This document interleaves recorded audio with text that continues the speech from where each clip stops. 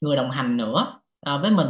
À, anh là giáo viên tại khoa thú y của Học viện Nông nghiệp Việt Nam và tốt nghiệp thạc sĩ tại à, Đại học Nagoshima của Nhật Bản và tốt nghiệp tiến sĩ tại Đại học Chulalongkorn của Thái Lan. vâng, không ai khác đó chính là diễn giả tiến sĩ bác sĩ thú y Nguyễn Mạnh Tường. À, và hôm nay cái chủ đề mà anh chia sẻ cho chúng ta thì hôm nay chính là chủ đề và nghiên cứu đặc vô virus tại Việt Nam à, và cũng như là cái chiến lược điều trị mà anh Tường đã dày công nghiên cứu rất là nhiều về nó um, và áp dụng ở nhiều nơi cũng như là đã rất là thành công. Hôm nay chúng ta sẽ cùng nhau có cơ hội được chia sẻ về cái bạc virus.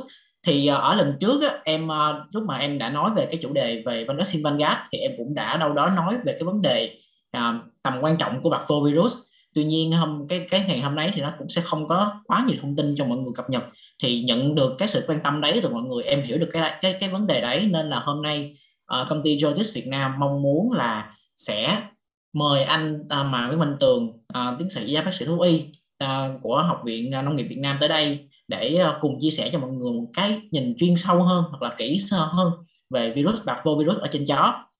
Um, vâng, À, một lần nữa là em ờ, rất là cảm ơn tất cả các quý anh chị bác sĩ à, đồng nghiệp cũng như là quý khách hàng đã tham gia dành một ít thời gian để tham gia vào cái buổi à, ngày thứ bảy chiều ngày thứ bảy ngày hôm nay để cùng ngồi lại với lại công ty Jodis Việt Nam lắng nghe những cái đề tài khoa học mà công ty Jodis Việt Nam mong muốn gửi gắm đến mọi người để chúng ta um, có thể là sẽ có thêm những cái kiến thức mới cùng giao lưu hoặc là những uh, có cơ hội để mình ôn lại những kiến thức mà mình đã từng gặp qua từng từng được trải nghiệm à, cố và cũng chúng ta cũng từ đó chúng ta sẽ phát triển được thêm rất là nhiều trong cái tay nghề mà trong quá trình chúng ta đi à, làm việc điều trị vân vân.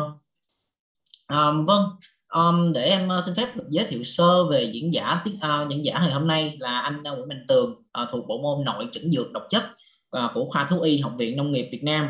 Anh uh, Tường tốt nghiệp bác sĩ thú y uh, vào năm 2007 và sau đấy thì uh, như em đã giới thiệu ở lần trước đó, là anh có, có uh, tham gia vào khoa dược lý phân tử tại đại học Kagoshima của Nhật Bản và ngày và 4 năm sau anh chính thức lấy được bằng tiến sĩ tại đại học Chulalongkorn của Thái Lan. Và cũng như anh cũng là người đã nghiên cứu rất là nhiều về cái con virus bạc vô này và đăng tải trên tạp chí Transfudary Emerging Disease cũng như là cái một cái con virus mới mà gần đây uh, sẽ có nguy cơ xuất hiện ở trên chó nữa. Đó chính là một cái con mà Socovirus um, ở trên tạp chí Veterinary và Quarterly Um, và ngoài ra nữa em muốn chia sẻ là hôm nay à, đặc biệt là Jodis sẽ có một cái chương trình là vòng quay may mắn dành cho năm người ngẫu nhiên thì uh, chúng ta sẽ quét cái đường link uh, QR code mà em để cho màn hình hoặc là lát hồi em sẽ gửi lên trên chatbot ở trên mọi người để mọi người hãy tiện nhập vào.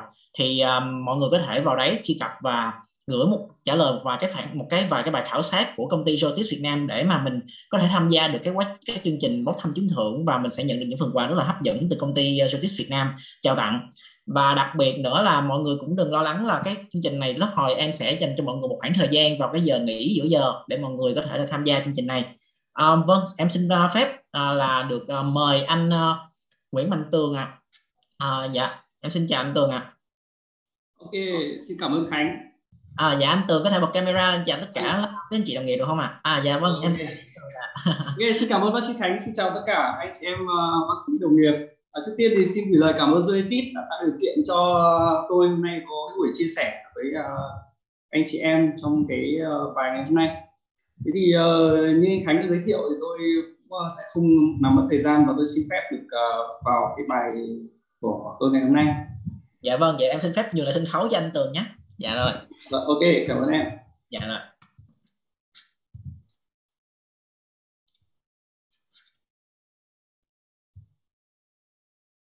Ờ, ok, thế thì uh, như các anh chị đã biết thì cái con virus Pavo là một con virus mà nó đã xuất hiện uh, khoảng tầm hơn 40 năm. Ở uh, đây là một con virus rất là cũ, thế nhưng mà tuy nhiên thì uh, đối với nó chưa bao giờ hết hot.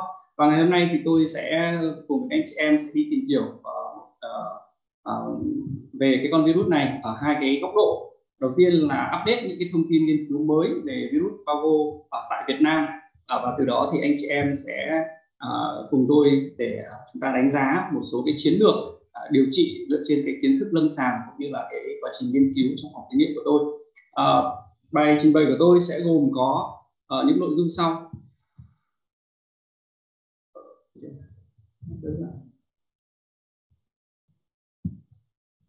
Rồi đầu tiên thì tôi sẽ đi vào giới thiệu với anh chị về uh, con virus bao vô và sự biến chủng con virus này. Ở đây thì cũng chia sẻ với anh chị là tôi sẽ hướng tới à, là các anh chị là những bác sĩ làm lâm sàng cho nên là những cái kiến thức mà nó hàm lâm chuyên sâu quá thì tôi xin phép không được trình bày trong buổi ngày hôm nay.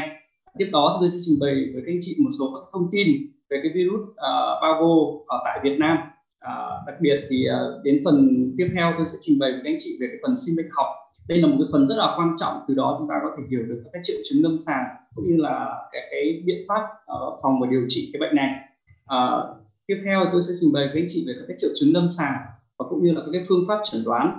Từ đó chúng ta sẽ nhìn những cái phác đồ điều trị để hướng tới cái tỷ lệ thành công cao và cuối cùng là cái biện pháp phòng trị. Thì như anh chị đã biết thì virus bao vô ở trên chó à, rất là gần gũi với con virus à, giảm bạch cầu trên mèo.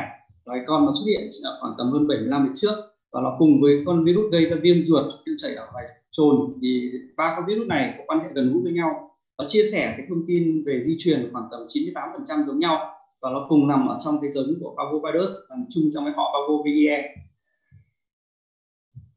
về nguồn gốc uh, virus Parvo xuất hiện ở chó như một loài virus mới vào những cuối năm 1970 uh, ờ, khi đó thì uh, cái nguồn gốc khi mà nó xuất hiện thì gây ra một sự hoang mang và sau này thì người ta đã chứng minh được là cái nguồn gốc của con virus này nó là do sự biến chủng của con virus gây bệnh giả bạch cầu ở mèo hoặc là những con virus tương tự ờ, ở trong những loài động vật hoang dại và do quá trình đột biến thì nó biến chủng và gây ra uh, gây bệnh cho con chó. À, tiếp theo sau đó khoảng tầm 2 uh, à, năm sau thì con virus này lại tiếp tục biến chủng và bây giờ chúng ta có những chủng đang lưu hành như là chủng 2A và đến năm 1984 thì virus biến chủng và chúng ta thấy xuất hiện chủng 2B và đặc biệt đến năm 2000 à, chúng ta sẽ thấy một chủng mới nhất đó là chủng 2C và cái chủng này thì đang được à, rất là quan tâm bởi vì Ờ, nhiều các nghiên cứu cho rằng đây là một cái chủng có động lực cao gây bệnh với cái triệu chứng lâm sàng nghiêm trọng và đặc biệt là có những người hoài nghi rằng các cái vaccine ờ, đang có hoặc vaccine chủng cũ thì không có khả năng bảo hộ con virus ở chủng này.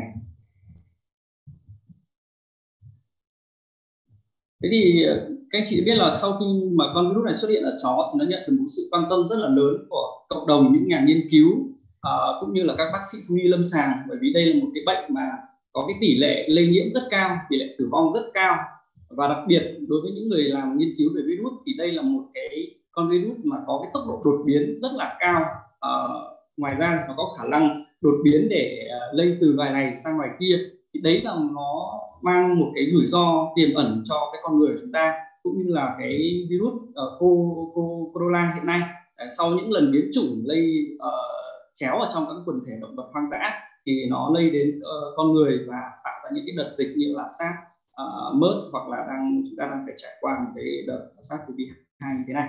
Uh, tuy nhiên thì rất may mắn uh, cho đến nay thì chúng ta chưa có những cái uh, báo cáo nào về cái con virus này có thể gây bệnh cho người. Mặc dù cái chủng virus gây bệnh cho người và bao cũng có nhưng không phải là cái sự uh, biến chủng của những cái con virus này thế thì con virus parvovirus ở trên chó nó thuộc vào cái là một cái loại virus uh, DNA nó có sợi đơn thì ở trong cái cấu trúc của con virus thì chúng ta có là DNA, uh, à, RNA và trong đó thì có DNA sợi đơn. Thì ở đây là một con virus mà có cái uh, gen di truyền là một DNA sợi đơn. Uh, sợi đơn này thì nó rất là ngắn, nó khoảng tầm 5.000 uh, à, khoảng hơn 5.000 nucleotide và nó chỉ có hai cái gen.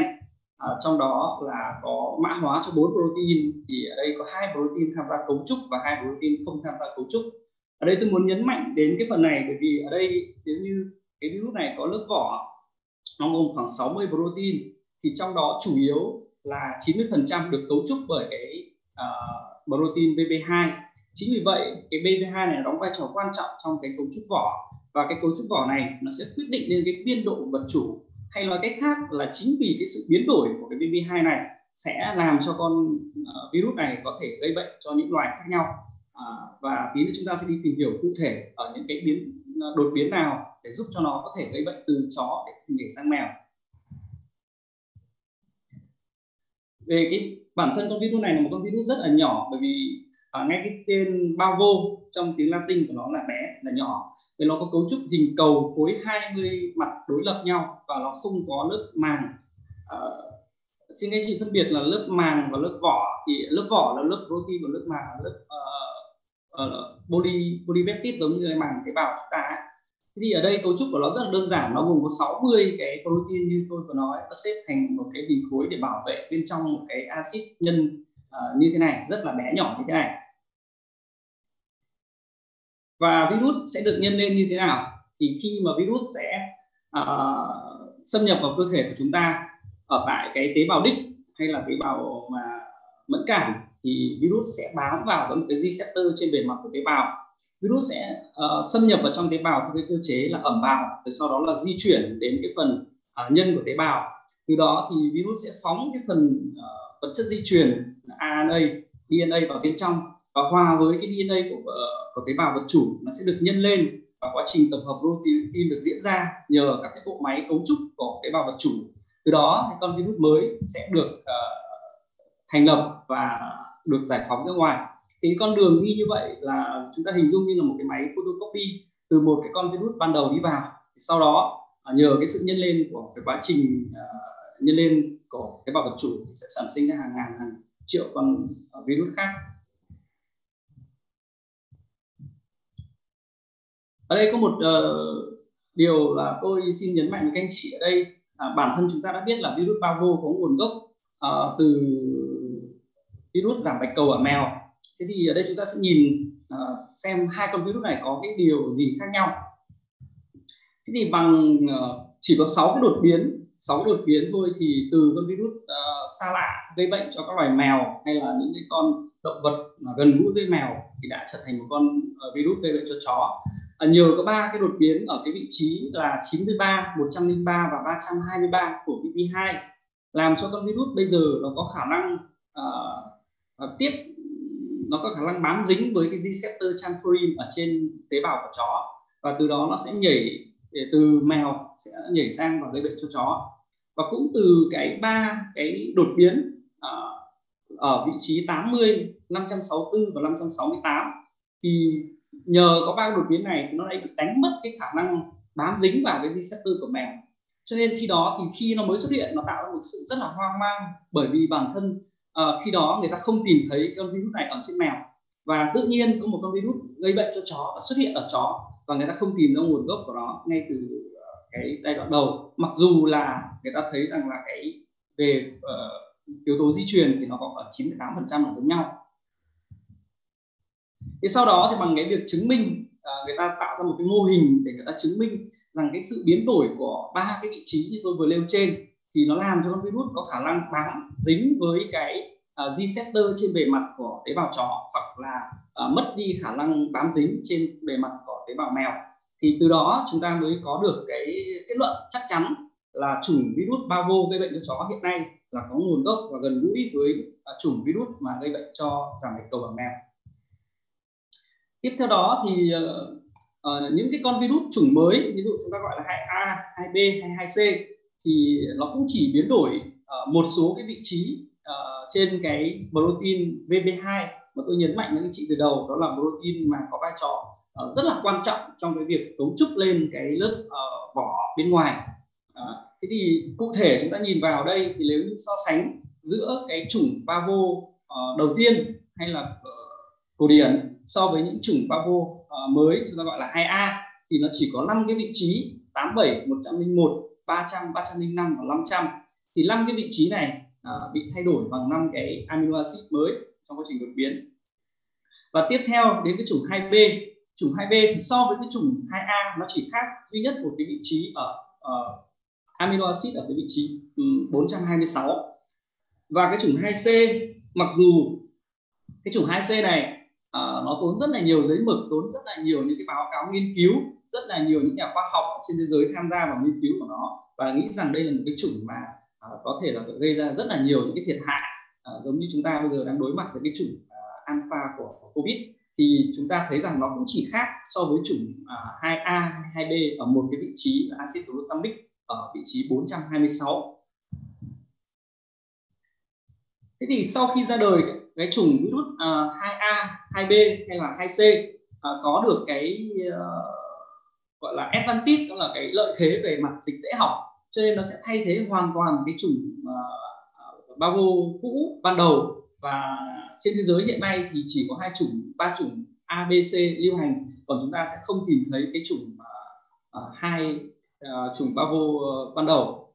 Và đây là một cái báo cáo nó cũng khá là cũ bởi vì so với cái dịch tễ thì nó sẽ thay đổi. Và đây là báo cáo từ những năm ờ, uh, 2016 thì người ta thấy rằng là ở châu Âu ờ, thì sẽ lưu hành cả ba cái chủng A, B, ờ, C. Uh, cụ thể một số nước như là cộng hòa séc thì không thấy xuất hiện chủng C uh, bỉ thì không có chủng 2B và ở Romania hay là Hungary thì cũng không có chủng uh, chỉ có chủng A và không có chủng B và chủng C đối với cả châu Phi thì cũng phần lớn là ba chủng này đều có thể đi tách được nên là đều phát hiện ra. Đối với uh, châu Mỹ và đặc biệt là Bắc Mỹ ở nước Mỹ thì uh, có cả ba cái chủng ABC và ở Nam Mỹ thì cũng có cả ba chủng ABC và đối với Mexico thì người ta chỉ tìm thấy chủng chủng C. À, đối với các nước gần gũi như là Indonesia à, và, à, Thà, và Thái Lan tôi xin à, Ấn Độ và Đài Loan Trung Quốc và đặc biệt năm đó là báo cáo của Việt Nam thì uh, người ta vẫn thống kê rằng là có ba chủng A, B, C uh, lưu hành. Tuy nhiên thì ờ, tí nữa cái báo cáo mới nhất uh, sau khi thu nhập mẫu năm 2018 tôi sẽ không tìm thấy chủng đấy nữa. Và các nước như là Hàn Quốc, Nhật Bản, Thái Lan thì lúc với thời điểm đó người ta báo cáo vẫn chưa có chủng 2C xuất hiện và Australia thì cũng chưa thấy chủng 2C xuất hiện. Và cái bản đồ uh, biểu thị uh, ở trên đây là cái chủng 2C mặc dù là nó xuất hiện sau cùng vào những năm 2000 nhưng mà nó đã nhanh chóng uh, lan rộng khắp ra toàn cầu và đã được báo cáo ở ở rất nhiều nơi. Thì uh, sang cái phần quay lại chúng ta sẽ tìm hiểu xem là cái chủng virus nào uh, lưu hành ở Việt Nam hiện nay. Thế thì uh, cái báo cáo mới nhất của tôi uh, lấy mẫu uh, từ ở Việt Nam vào năm 2018 thì ờ, trên các cái mẫu bệnh phẩm uh, sau khi uh, phát hiện uh, dương tính với cả ba vô bằng phương pháp PCR thì chúng tôi gửi để, để đi giải trình tự gen. Và trên đó thì chúng ta sẽ thấy rằng là phần lớn uh, các cái chủng ở Việt Nam đang lưu hành là chủng 2C chỉ duy nhất uh, tôi tìm thấy một cái mẫu đó là chủng 2A tại thành phố Hồ Chí Minh. Còn lại các vùng như uh, khu vực miền Trung và miền Bắc thì uh, hầu như toàn bộ là 2C và uh, trong các cái nghiên cứu trước uh, ví dụ như là nghiên cứu của tiến sĩ uh, uh, Hoàng Minh cũng ở Học viện Nông nghiệp Việt Nam và làm cái nghiên cứu ở uh, Đài Loan thì cũng có cái công bố rằng là ở Việt Nam chỉ có hai chủng là 2A và 2C lưu hành. À, trước đó một năm thì cái hoàn toàn hai cái nghiên cứu này là giống nhau. Và so sánh với các nghiên cứu trước thì các nghiên cứu trước người ta chỉ tập trung vào cái giải trình tự gen của cái con virus uh, ở cái vị trí protein 2 BB2 thì tôi đi giải à, uh, full cái trình tự gen của những con virus mà tìm thấy ở Việt Nam và so sánh nó với những cái con virus uh, trên thế giới. Và tôi lấy mẫu hai con virus đó là con virus ở Italia. Italia là một cái nước phát hiện hiện ra cái chủng 2C đầu tiên. À, sau đó thì đến năm uh, 2017 người ta cũng uh, phát hiện được một chủng 2C mới và từ cái con chó mà nhập khẩu từ Thái Lan và người ta gọi cái chủng này là chủng 2C của châu Á. À, sau đó thì tôi sẽ so sánh với những cái chủng mà mới nổi ở Trung Quốc được báo cáo là những cái chủng uh, Pavo mới mới biến chủng và được tìm thấy năm 2014 ở Trung Quốc. Thì so sánh với những cái chủng này thì chủng 2C ở Việt Nam có một cái quan hệ rất là gần gũi với cái chủng 2A của Trung Quốc và cái chủng 2C mà người ta gọi là chủng 2C châu Á còn lại thì có một sự khác biệt nhất định đối với những chủng 2C mà tìm thấy ở Italia trước đó. Và hai so sánh hai chủng 2A và 2C của Việt Nam thì cũng có một cái sự uh, có một cái khoảng cách uh, về mặt di truyền nhất định. Và tiếp theo thì ở cái nghiên cứu thứ hai tôi đi tìm hiểu xem là những cái con virus nào uh, nó sẽ đồng nhiễm cùng với con virus bao trong cái mẫu phân chó bị tiêu chảy ở Việt Nam. Thì tôi khảo sát những con virus ví dụ như là virus Psycho, virus, uh, virus Boca, virus Adelo và virus ờ, uh, Paramiso đây là họ của virus uh, nhà Care Corolla và một cái virus cũng mới được phát hiện uh, đó là virus Boxai Psycho 3 ở chó. Uh, người ta mới xuất hiện một cái báo cáo duy nhất.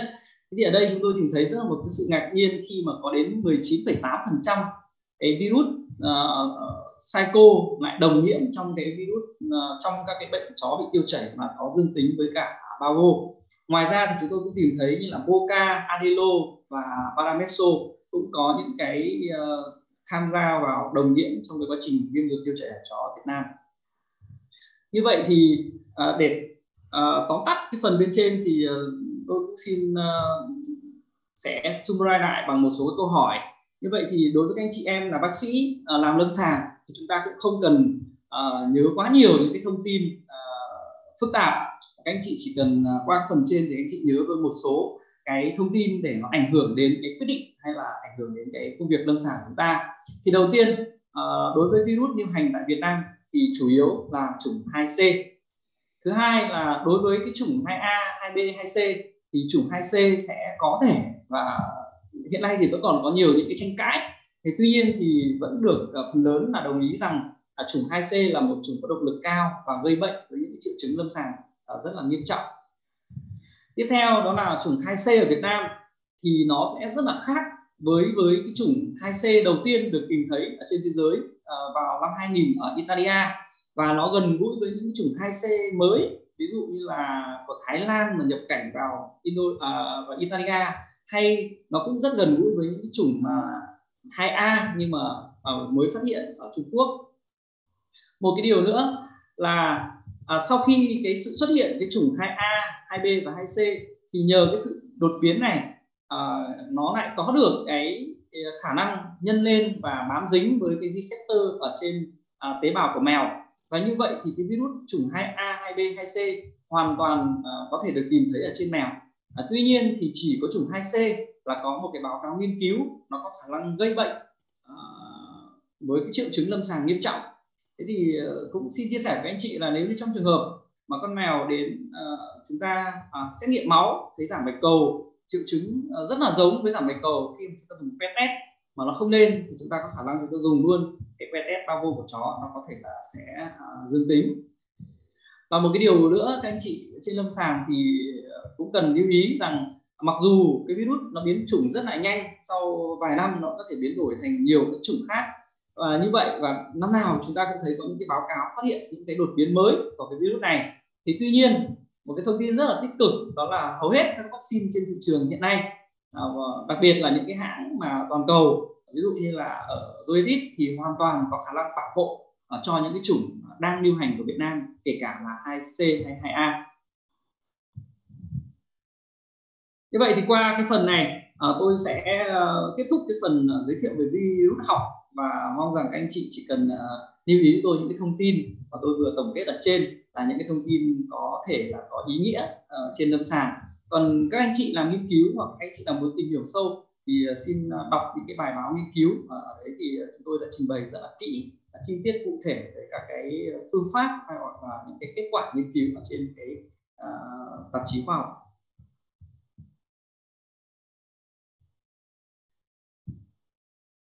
Và bây giờ thì chúng ta sẽ chuyển sang một phần tiếp theo.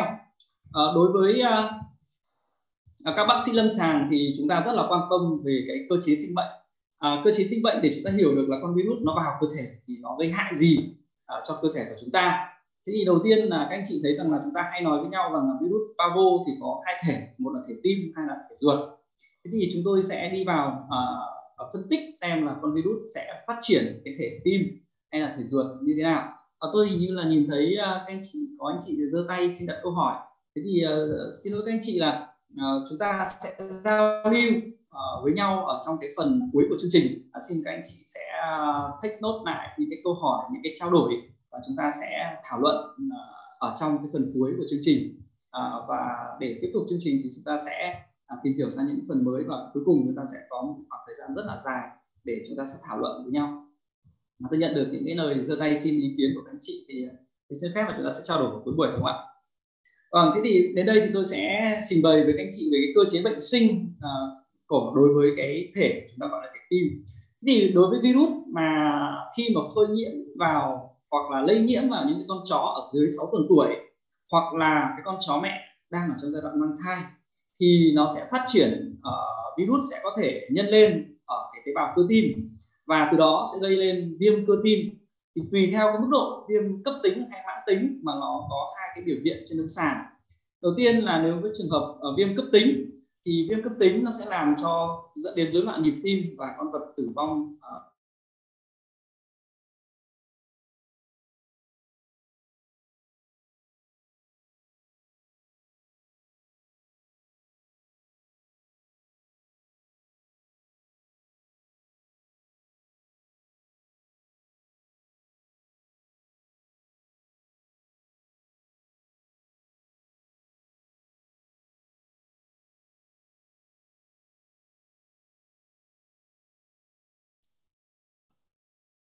hello ạ. À. dạ anh Tường ơi. Chắc là có một chút xíu trục trục trặc kỹ thuật rồi. Vâng à vậy mọi người uh, rất là xin lỗi với anh chị khách hàng về cái vấn đề bất tiện này. Có thể là bên chỗ anh Tường đang gặp chút xíu vấn đề sự cố về uh, mạng internet à vâng bây giờ chúng ta sẽ dành thời gian chút xíu để cho anh Tường có thể kết nối lại với chương trình nhé. Um, và anh chị ơi lưu ý là em có tạo cho các anh chị một cái box quy để mình mình gửi ờ, cái box Q&A á, để mọi người hỏi những câu hỏi vào trong đấy thì anh Tường sẽ là người lát hồi cuối chương trình sẽ giải đáp tất cả các câu hỏi dành cho uh, anh Tường. Mọi người cứ thể là điền cái những câu hỏi mọi người vào trong cái phần Q&A đó mà không cần thiết phải giơ tay đâu ạ. À. dạ. Cái vâng à, và em cũng xin nhắc lại một lần nữa là cái phần à, hôm nay chúng ta sẽ có cái phần là tham gia bản khảo sát để nhận lấy phần thưởng từ công ty Jotis Việt Nam nhé. Em sẽ gửi đường link ở bên trong chat box để cho mọi người dễ tìm tham dự à, và em đang thấy là anh Tường đang có kết nối lại rồi à. à anh Tường ơi nếu như anh Tường có nghe em thì anh Tường phản hồi một vài câu ạ à. alo anh Tường ơi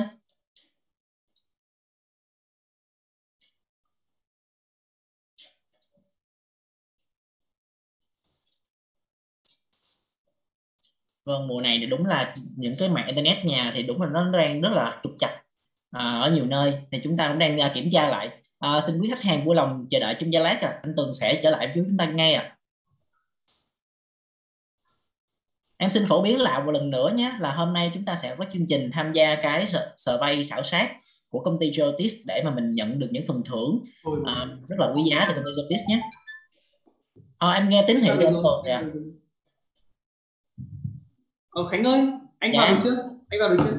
Rồi rồi anh thấy anh Tường rồi anh Tường ơi anh okay, Tường uh, okay. nét lại rồi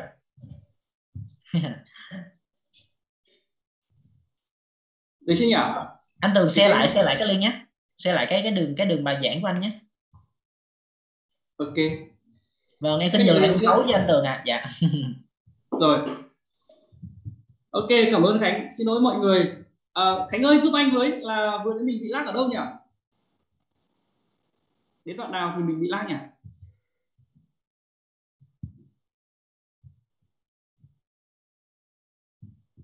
đến đoạn này chứ nhỉ? Rồi ok. Thế thì uh, tôi xin lỗi là có ờ, sự trục trặc về cái đường truyền internet nên là chúng ta đã bị ngắt quãng ở cái phần này. À, tôi nói lại thì uh, như các anh chị đã biết đó, thì chúng ta uh, uh, có hai chúng ta gọi là hai thể. Uh, đó là thể tim và thể ruột. Thế thì ở đây tôi sẽ xin trình bày về cái cơ chế bệnh sinh để phát triển uh, cái quá trình uh, dẫn đến viêm cơ tim thế thì đối với cả đối với virus mà sẽ gây bệnh đến những con chó con uh, đang uh, ở dưới 6 tuần tuổi hoặc là đối với những con chó mẹ đang mang thai thì cái sự phơi nhiễm của virus uh, đối với uh, thai hoặc chó con ừ, sơ sinh như này thì rất là nguy hiểm. Bởi vì vài ngoài cái mô đích như là cái thể ruột thì chúng ta sẽ tìm hiểu thì virus cũng nhân lên ở cái thể uh, ở cái tế bào tim và nó sẽ phát triển thành hai thể một là thể viêm cơ tim cấp tính thì dẫn đến là tử vong đột ngột. Còn nếu như viêm cơ tim mãn tính thì sẽ làm cho cái quá trình tiến triển lâu hơn. Chúng ta sẽ quan sát thấy những trường hợp như là uh, suy tim do phì đại cơ tim sung huyết và mổ ra thì chúng ta mổ khám cho thấy là phổi uh, sung uh, phù phổi. Thì đối với cái thể tim mặc dù có thể phát triển ở thể cấp tính hay thể mãn tính thì cái tỷ lệ tử vong của nó rất là cao là hầu như 100% và như vậy thì đối với cái những cái uh, thể tim này thì chúng ta cũng không có cái gì để thảo luận nhiều uh, trong cái phần điều trị bởi vì chúng ta không có thể can thiệp được. Và chúng ta chỉ còn bằng cách là chúng ta sẽ nói đến ở cái phần phòng bệnh. Chúng ta không có cái điều trị xong đối với cái thể này. Tiếp theo thì uh, uh, tôi sẽ trình bày về cái cơ chế bệnh sinh đối với cái thể viêm ruột. Và đây là một cái thể mà anh chị uh, chúng ta uh, quan tâm à, đầu tiên thì cái đường phơi nhiễm của virus vào trong cơ thể nó sẽ đi qua đường miệng. À, nó đi qua đường miệng. À, đường miệng bằng cách là à, sẽ do con chó tiếp xúc với phân được thải ra từ những con bị bệnh à, hoặc là à, tiếp xúc với những cái à, vật dụng trung gian à, là những cái vector mang bệnh. À, tuy nhiên có những à, anh chị nuôi cún à, nói rằng là chó như em thì chỉ rốt ở nhà suốt ngày không gặp một con chó nào không bao giờ cho ra ngoài hay ra công viên chơi thì cũng không gặp con chó nào và tại sao uh, nó lại có thể là bị nhiễm bao vô? Thế thì ở đây các anh chị thấy nhớ là nó đi vào theo đường miệng ờ, và có thể là nhiễm trực tiếp từ con chó bị bệnh ờ, thải ra do quá trình tiếp xúc. Nhưng nó cũng có thể nhiễm gián tiếp qua những cái đồ vật hoặc là cái con chó có thể anh chị đưa ra công viên chơi thì con chó đi trước nó vừa lấy nó nhị ra mà thải ra cái mầm bệnh của con chó của chúng ta đến đấy ngửi lại và tiếp xúc ở đấy hoặc thậm chí chúng ta trên người chúng ta đi xe máy giày dép chúng ta cũng có thể mang cái mầm bệnh về và có thể là gián tiếp truyền cho cái con chó đang khỏe mạnh ở nhà của chúng ta. Cho nên cái câu chuyện là chúng ta bảo là con chó ở nhà tôi không có cho gặp bất kỳ con chó nào như sao cũng bị bệnh thì ở đây nói là cái cách truyền nó là truyền gián tiếp uh, qua một cái vật chủ trung gian nào đó. Thế thì sau khi virus vào đến cơ thể thì đầu tiên virus sẽ nhân lên ở cái mô bạch huyết ở hầu họng. À, mô bạch huyết ở hầu họng này virus sẽ là cái lơi nhân lên. Và sau đó nó sẽ truyền tiếp theo cái hệ bạch huyết đi đến những cái uh, khu vực như là hạch màng treo ruột hoặc là tuyến ức. Thì ở đây virus được nhân lên một cách mạnh mẽ. Và đủ một cái số lượng thì virus sẽ uh, đi vào máu. Và sau khoảng 1 đến 5 ngày thì virus đạt một nồng độ rất cao ở trong máu. Và theo cái hệ tuần hoàn máu sẽ mang virus đến tất cả các cơ quan khác trong cơ thể. Thế thì chúng ta có thể tìm thấy virus ở tim ở gan ở lách ở thận ở phổi. Thế nhưng chúng ta không thấy rằng cái cơ quan này bị tổn thương mà chúng ta lưu ý đến hai cơ quan virus sẽ gây tổn thương uh, nghiêm trọng nhất đó là uh, ở, ở ruột và ở các cái hạch uh, à, lympho. Thế thì ở ruột virus sẽ khu trú chủ yếu ở cái tế bào ở cái khu liên mạc ruột và có cả ở những cái liêm mạc đường tiêu hóa ví dụ như là liêm mạc ở miệng hoặc là hầu họng thì cũng có. Và ở ờ, virus cũng khu trú ở các hạch lâm bao và tủy sống. Thì ở ruột à, virus sẽ tấn công và làm cho quá trình viêm ruột. Thì một lát nữa chúng ta sẽ tìm hiểu về cơ chế à, gây ra những cái tổn thương ở ruột. Thì ở đây chúng ta chỉ thấy là virus vào đến ruột rồi thì virus gây ra cái quá trình viêm ruột và nghiêm trọng là như vậy thì chúng ta gọi là à, bệnh viêm ruột ở chó do ba vô một uh, cái mà chúng ta ít khi nhìn thấy đó là ở tại tủy sống và ở hạch lympho. Thì virus cũng gây ra những cái tổn thương uh, rất là nguy hiểm. Đặc biệt đối với cả ở hệ hạch lympho thì virus sẽ phân giải các tế bào lympho hoặc là ức chế quá trình uh, sinh sản cái tế bào bạch cầu ở tủy sống. À, dẫn đến một cái hệ lụy đó là suy giảm bạch cầu làm giảm bạch cầu nghiêm trọng. Và như vậy thì ở cơ chế này cũng giống như ở mèo chúng ta gọi là bệnh giảm bạch cầu của mèo bởi vì khi đó à, à, chúng ta thấy rằng cái, cái quá trình uh, giảm bạch cầu một cách đột ngột và rất là nghiêm trọng ở mèo thì kể cả ở chó cũng vậy.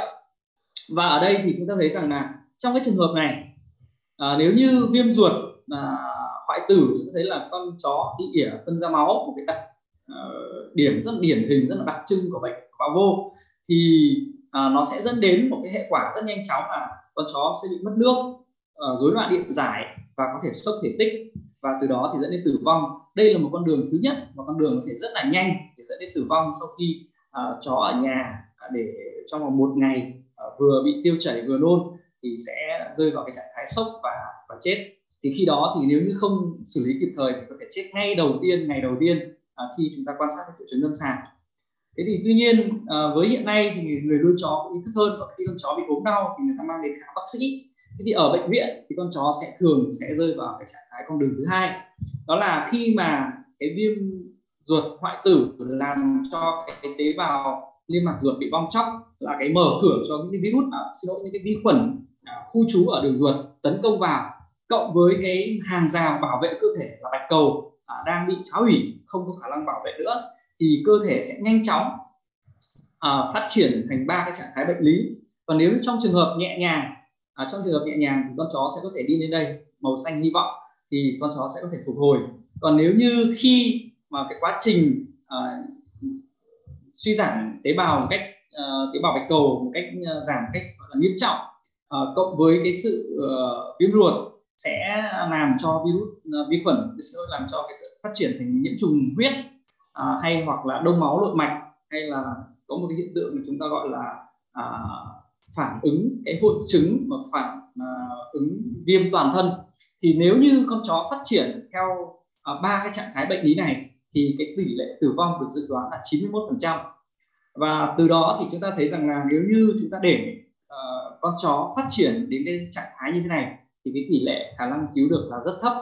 Thế thì một lát nữa thì chúng ta sẽ uh, tìm hiểu ở cái phần can thiệp để điều trị xem uh, sao để chúng ta có thể ngăn cản được cái quá trình uh, không cho nó phát triển cái trạng thái như thế này. À, tiếp theo thì chúng ta sẽ đi tìm hiểu về một số cái, cái à, cơ chế gây tổn thương ở ruột à, đối với à, cái thể chúng ta gọi là viêm à, viêm viêm ruột.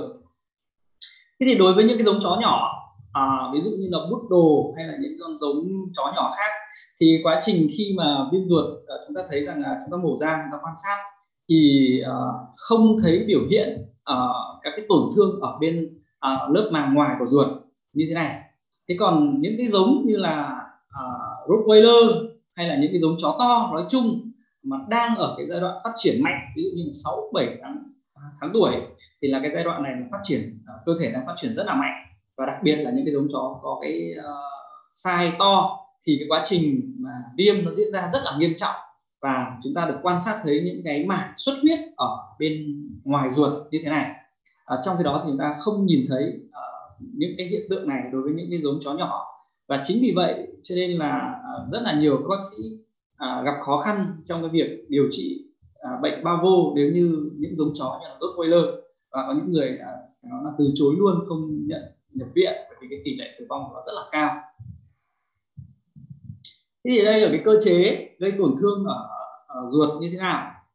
Thế thì đầu tiên là chúng ta thấy là cái sinh lý của ruột non đặc biệt là cái giai đoạn à, uh, tá tràng thì cái tế bào à, uh, liên mạc ruột uh, luôn luôn được uh, sinh ra được biệt hóa và được phát triển uh, để uh, thay thế cho những cái tế bào ở đây là đây là tôi nó nói một cái uh, gọi là vi vi nhung ở cái tế bào liên mạc ruột thì nó đảm nhiệm cái chức năng làm tăng cái diện tích uh, để hấp thu được chất dinh dưỡng. Và cái cơ chế sinh lý là các cái tế bào này sẽ phát triển biệt lập và thay thế dần các cái tế bào ở phía trên. Khoảng tầm 3 đến 4 ngày thì các tế bào phía trên này sẽ già đi và bong chóc à, sau đó là bong chóc.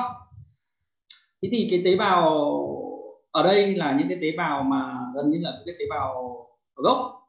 Thì virus uh, ba vô sẽ tấn công vào cái tế bào gốc này làm cho cái quá trình biệt hóa phát triển những cái tế bào liên mạc ruột không được diễn ra nữa. Dẫn đến là cái quá trình tế bào ruột ở đây uh, mặc dù đã bị uh, già giống như da của chúng ta nó già nó bong ra thì không có những cái tế bào lớp tế bào thay thế. Và làm cho cái nông nhung này nó bị ngắn lại và làm cho nó bị rối loạn quá trình hấp thu các chất dinh dưỡng. Và nó làm hoại tử cái quá trình này thì làm cho cái quá trình À, tiêu chảy ở ruột nó diễn ra nghiêm trọng.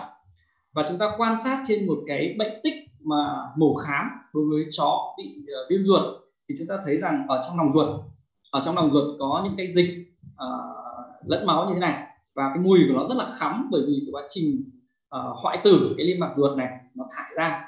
Và trên cái tiêu bản vi thể thì các anh chị sẽ nhìn thấy những cái uh, nông nhung uh, vi nông nhung này rất ngắn và nó không À, nó rất là ngắn.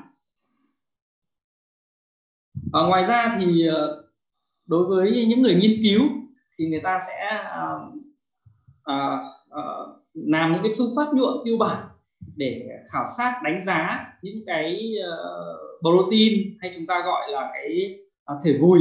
Đó, đó là những cái mà được uh, do quá trình xâm nhập của con virus vào trong tế bào và nhân lên tạo ra những cái protein lạ và trong quá trình nhuộm người ta quan sát người ta có thể ờ, tìm thấy những cái tế bào những cái protein lạ như thế này. Ở trong uh, nhân của tế bào cũng như là ở trong tế bào chất. Ngoài ra thì còn có một cái phương pháp để đánh giá khảo sát cái nồng độ của virus ở ruột. Thì chúng ta thấy là ờ, còn một cái phương pháp nữa là phương pháp hóa mô miễn dịch bằng cách là chúng ta sẽ nhuộm uh, uh, dùng cái phương pháp dùng cái kháng thể để chúng ta phát hiện những cái con virus uh, sẽ làm bắt màu những con virus khu trú ở những cái uh, tế bào ruột như thế này. Như vậy thì để tổng kết cái phần này thì các anh chị uh, chỉ cần nhớ tôi một số thông tin.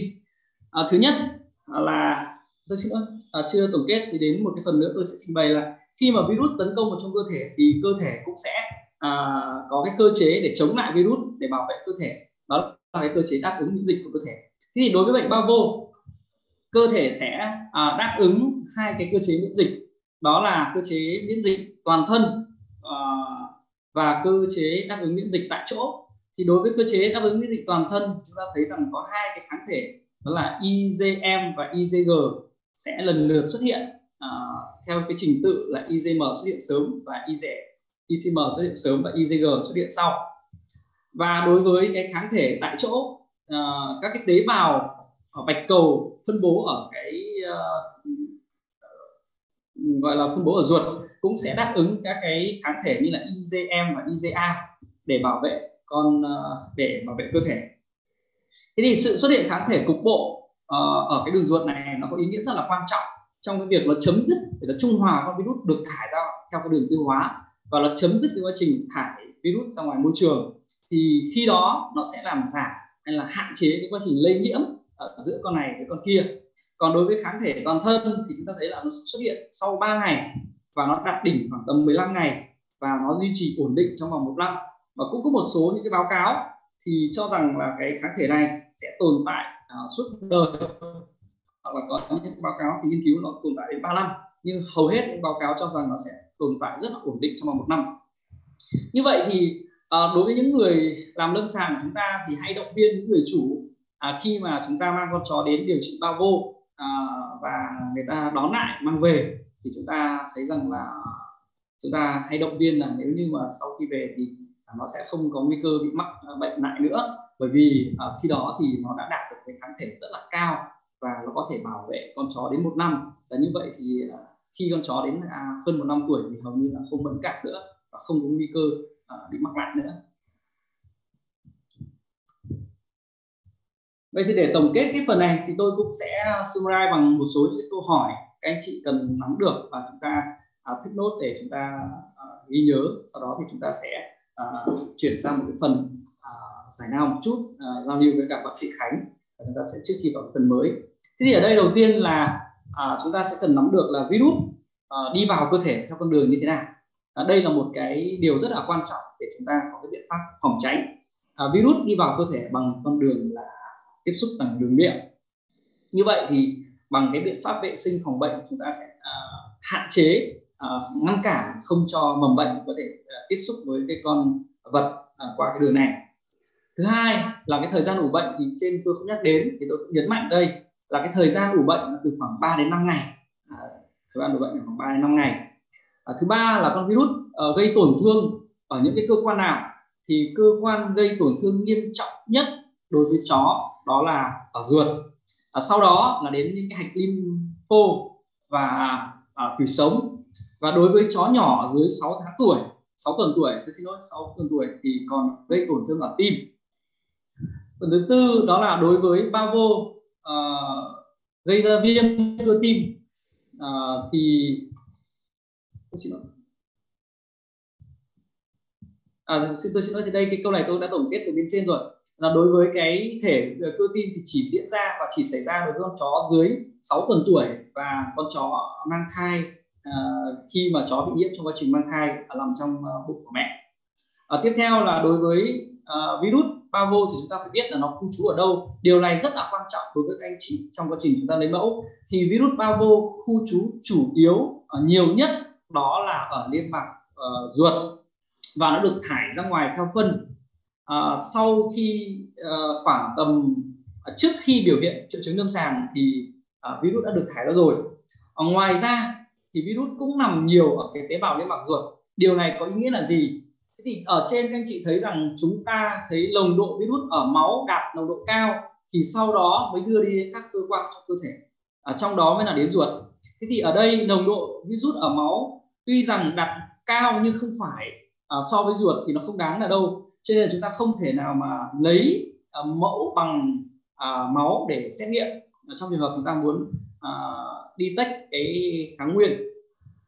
Và virus có khu trú ở niêm mạc ruột cho nên trong trường hợp mà con chó mang đến nó chưa tiêu chảy uh, các anh chị lấy ở phân hậu môn được rất ít thì chúng ta có thể dùng cái biện pháp là chúng ta ngoáy vào cái niêm mạc miệng để chúng ta à, mong rằng chúng ta sẽ đạt được một cái nồng độ virus đủ để chúng ta có thể test bằng que test nhanh chính xác còn ngoài ra kể cả chó chưa có biểu hiện lâm sàng là tiêu chảy nhưng tuy nhiên ở giai đoạn này thì mầm bệnh đã được thải ra ngoài môi trường.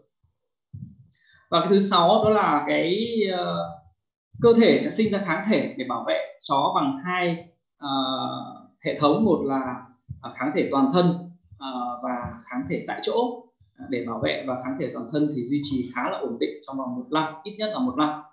Thì trên đây uh, là toàn bộ cái phần về cơ chế bệnh sinh cũng như sự đáp ứng miễn dịch và những tổn thương của con bao vô gây ra đối với chó à, các anh chị à, à, à, làm lâm sàng thì cần nắm được những nội dung như vậy à, và bây giờ thì à, xin à, quay trở lại với các bác sĩ Khánh chúng ta sẽ có một uh, phút giải nam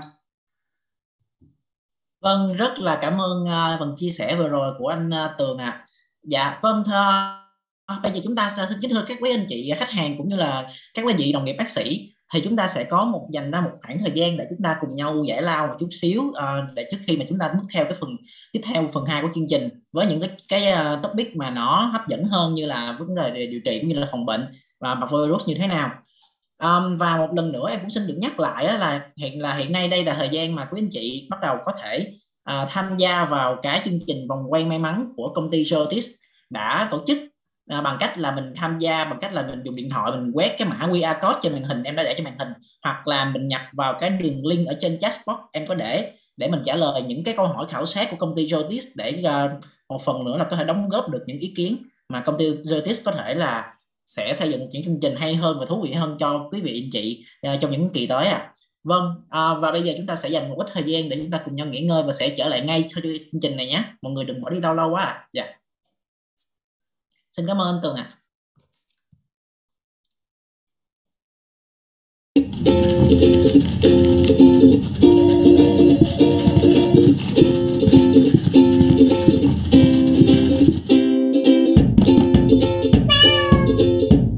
Hello there.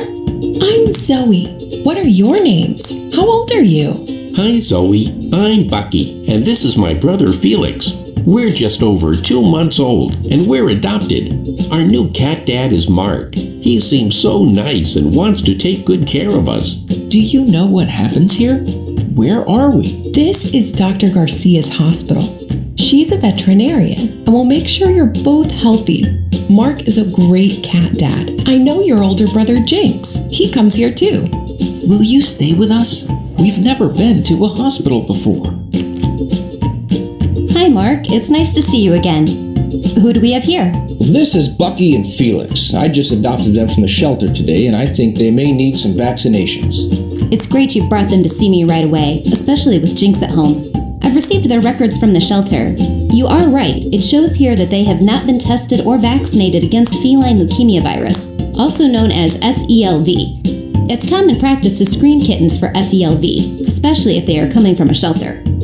What does this mean? My cousin had leukemia as a child. Can I catch the virus from the kittens? No, this virus only infects cats. FELV is transmitted through close contact among cats, such as sharing food bowls, cat fights, or from a mother to her kittens. Since natural resistance to the virus can develop with age, kittens are at the highest risk for infection. Jinx may be at risk since he's a cat, but humans and other animals cannot be infected. First, let's find out if either Bucky or Felix have the infection recommend that we collect blood to screen them for the disease. Then we can discuss vaccinations against FELV and other feline viruses. Bucky, Felix, Dr. Garcia is going to perform some tests so we know what vaccines you may need. It's okay. Be brave. This will only take a few minutes, and it's faster if you don't squirm. Bucky tested positive for the FELV infection. I'm going to recommend we send out for a test to give us some more information about this preliminary result, also known as a PCR test. It's important to understand the stage of infection and what potential there is for signs of the disease to develop over time. If the PCR is positive, then we'll retest Bucky again in 30 days. I'm going to give them both the FVRCP vaccine today. It will protect them against three common and potentially fatal viruses Felix tested negative for FELV and will receive his first FELV vaccine today. We'll retest him again in 30 days. We can discuss vaccinating Bucky against FELV when his PCR results are back. What about Jinx? Since it's time for his annual wellness exam, bring Jinx in next week and we'll make sure his vaccinations are up to date. Until we have Bucky's PCR results, let's keep him separated from Jinx. The key thing to remember is that even if Bucky has FELV, we can give him the best chance to stay healthy for a long time if we continue to monitor him regularly. Also, vaccinating Bucky and Felix against FELV is recommended to help protect them against possible infection. I'll see you again in a month's time to retest both kittens for FELV, and I'll call you with the PCR results for Bucky in a few days. I can't wait to see Jinx next week.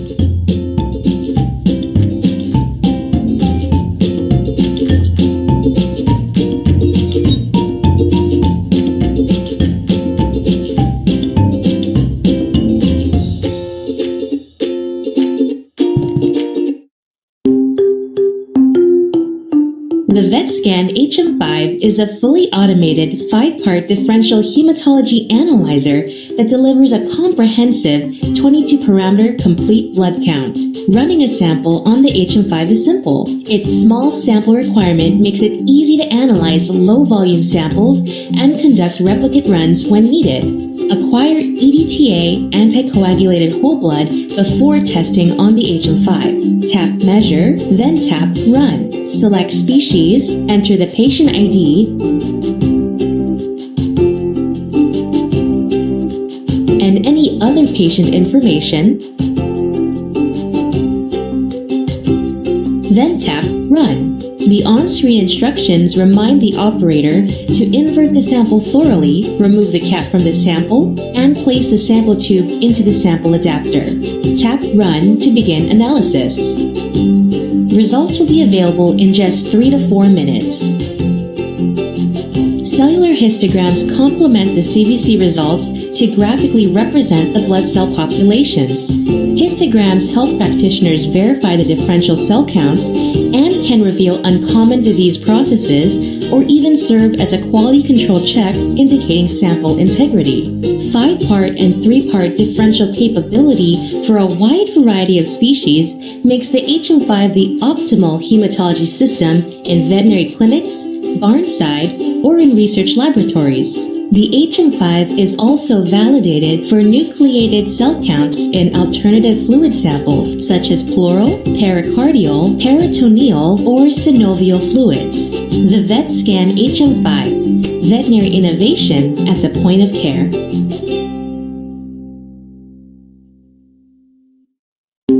The VetScan VS2 is a state-of-the-art chemistry, electrolyte, immunoassay, and acid-base analyzer that delivers uncompromising accuracy from just two drops of whole blood, serum, or plasma. Its built-in intelligent quality control system means there is no need to run controls or calibrate. Sample integrity and system checks occur automatically every run to ensure accurate results.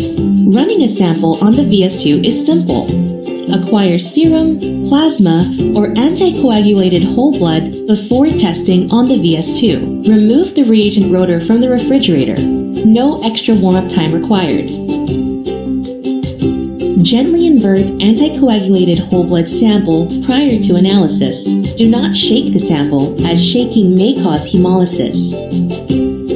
Insert the sample into the rotor using the provided pipette.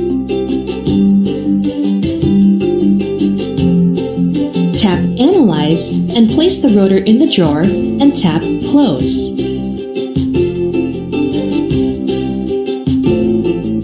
Select the species, enter the patient ID, and tap Done. The VS2 will automatically detect the profile inserted, and results will be available in just 12 minutes. Sample integrity is checked every run, with the analyzer displaying physical interference indices for hemolysis, lipemia, and icterus on every result. Choose from an expansive test portfolio that fits any need, whether that is comprehensive, pre anesthetic and critical care, organ specific, or even specialty and species specific testing. With 13 profiles to choose from, it has never been easier to practice comprehensive medicine at the point of care. The VetScan VS2, veterinary innovation at the point of care.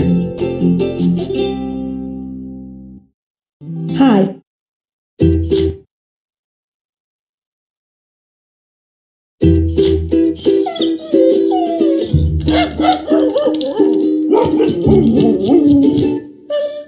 Is your dog trying to tell you something? Allergic itch in dogs is a medical condition that's more common and treatable than you think. That's why there's prescription Apoquel, the revolutionary medicine that's giving millions of dogs the relief they deserve. Apoquel goes to the source of the itch to provide relief in as little as four hours. And Apoquel is safe without many of the side effects associated with the use of steroids. Apoquel is for the control of itch associated with allergic dermatitis and the control of atopic dermatitis in dogs. Do not use Apoquel in dogs less than 12 months old or those with serious infections. Apoquel may increase the chance of developing serious infections and may cause existing parasitic skin infestations or pre-existing cancers to worsen. Do not use in breeding, pregnant, or lactating dogs. Most common side effects are vomiting and diarrhea. Don't wait. Ask your veterinarian about Apoquel today. Apoquel, it's itch relief worth barking about.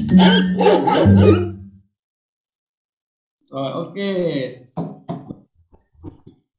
Vâng, xin uh, chào tất cả các quý anh chị bác sĩ đồng nghiệp cũng như là các anh chị khách hàng của công ty Regis Việt Nam à. À, vâng, chúng ta đã vừa xong cái phần giải lao và em uh, xin nhắc lại một lần nữa là cái chương trình làm khảo sát survey vẫn đang tiếp diễn trong xuyên suốt chương trình nhé. À, các anh chị có thể cùng tham gia cái đường link mà em gửi trên chatbox là quét mã QR, QR code và em đã gửi trên màn hình nhé. À, và bây giờ chúng ta sẽ trở lại với lại phần trình bày của tiến sĩ bác sĩ thú y Nguyễn Anh Tường à. à dạ anh Tường ơi, em xin phép nhường lại sân khấu cho anh một lần nữa nhé. Rồi ok, cảm ơn Khánh.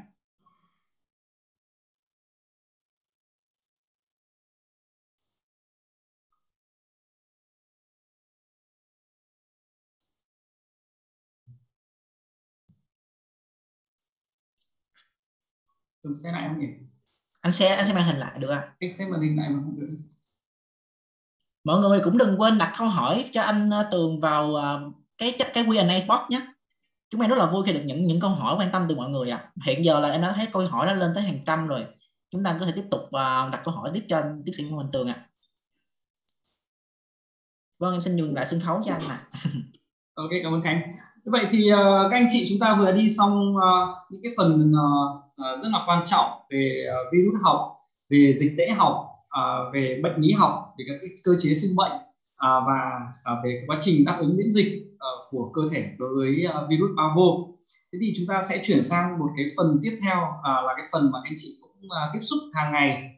Uh, phải nói rằng là uh, tất cả các anh chị uh, có thể là khi uh, bước chân vào cái nghề điều trị thú nhỏ thì sẽ là những bệnh nhân đầu tiên uh, rất là có thể là một tỷ lệ rất lớn đó là cái bệnh bao vô thế thì uh, chúng ta đang làm việc với nó thường ngày và hầu như các bệnh uh, phòng khám thì chúng ta thấy rằng là uh, luôn luôn có những bệnh nhân nằm niêm chú uh, điều trị bao vô thì tôi sẽ xin trình bày về cái phần thứ uh, tiếp theo. Đó là về triệu chứng.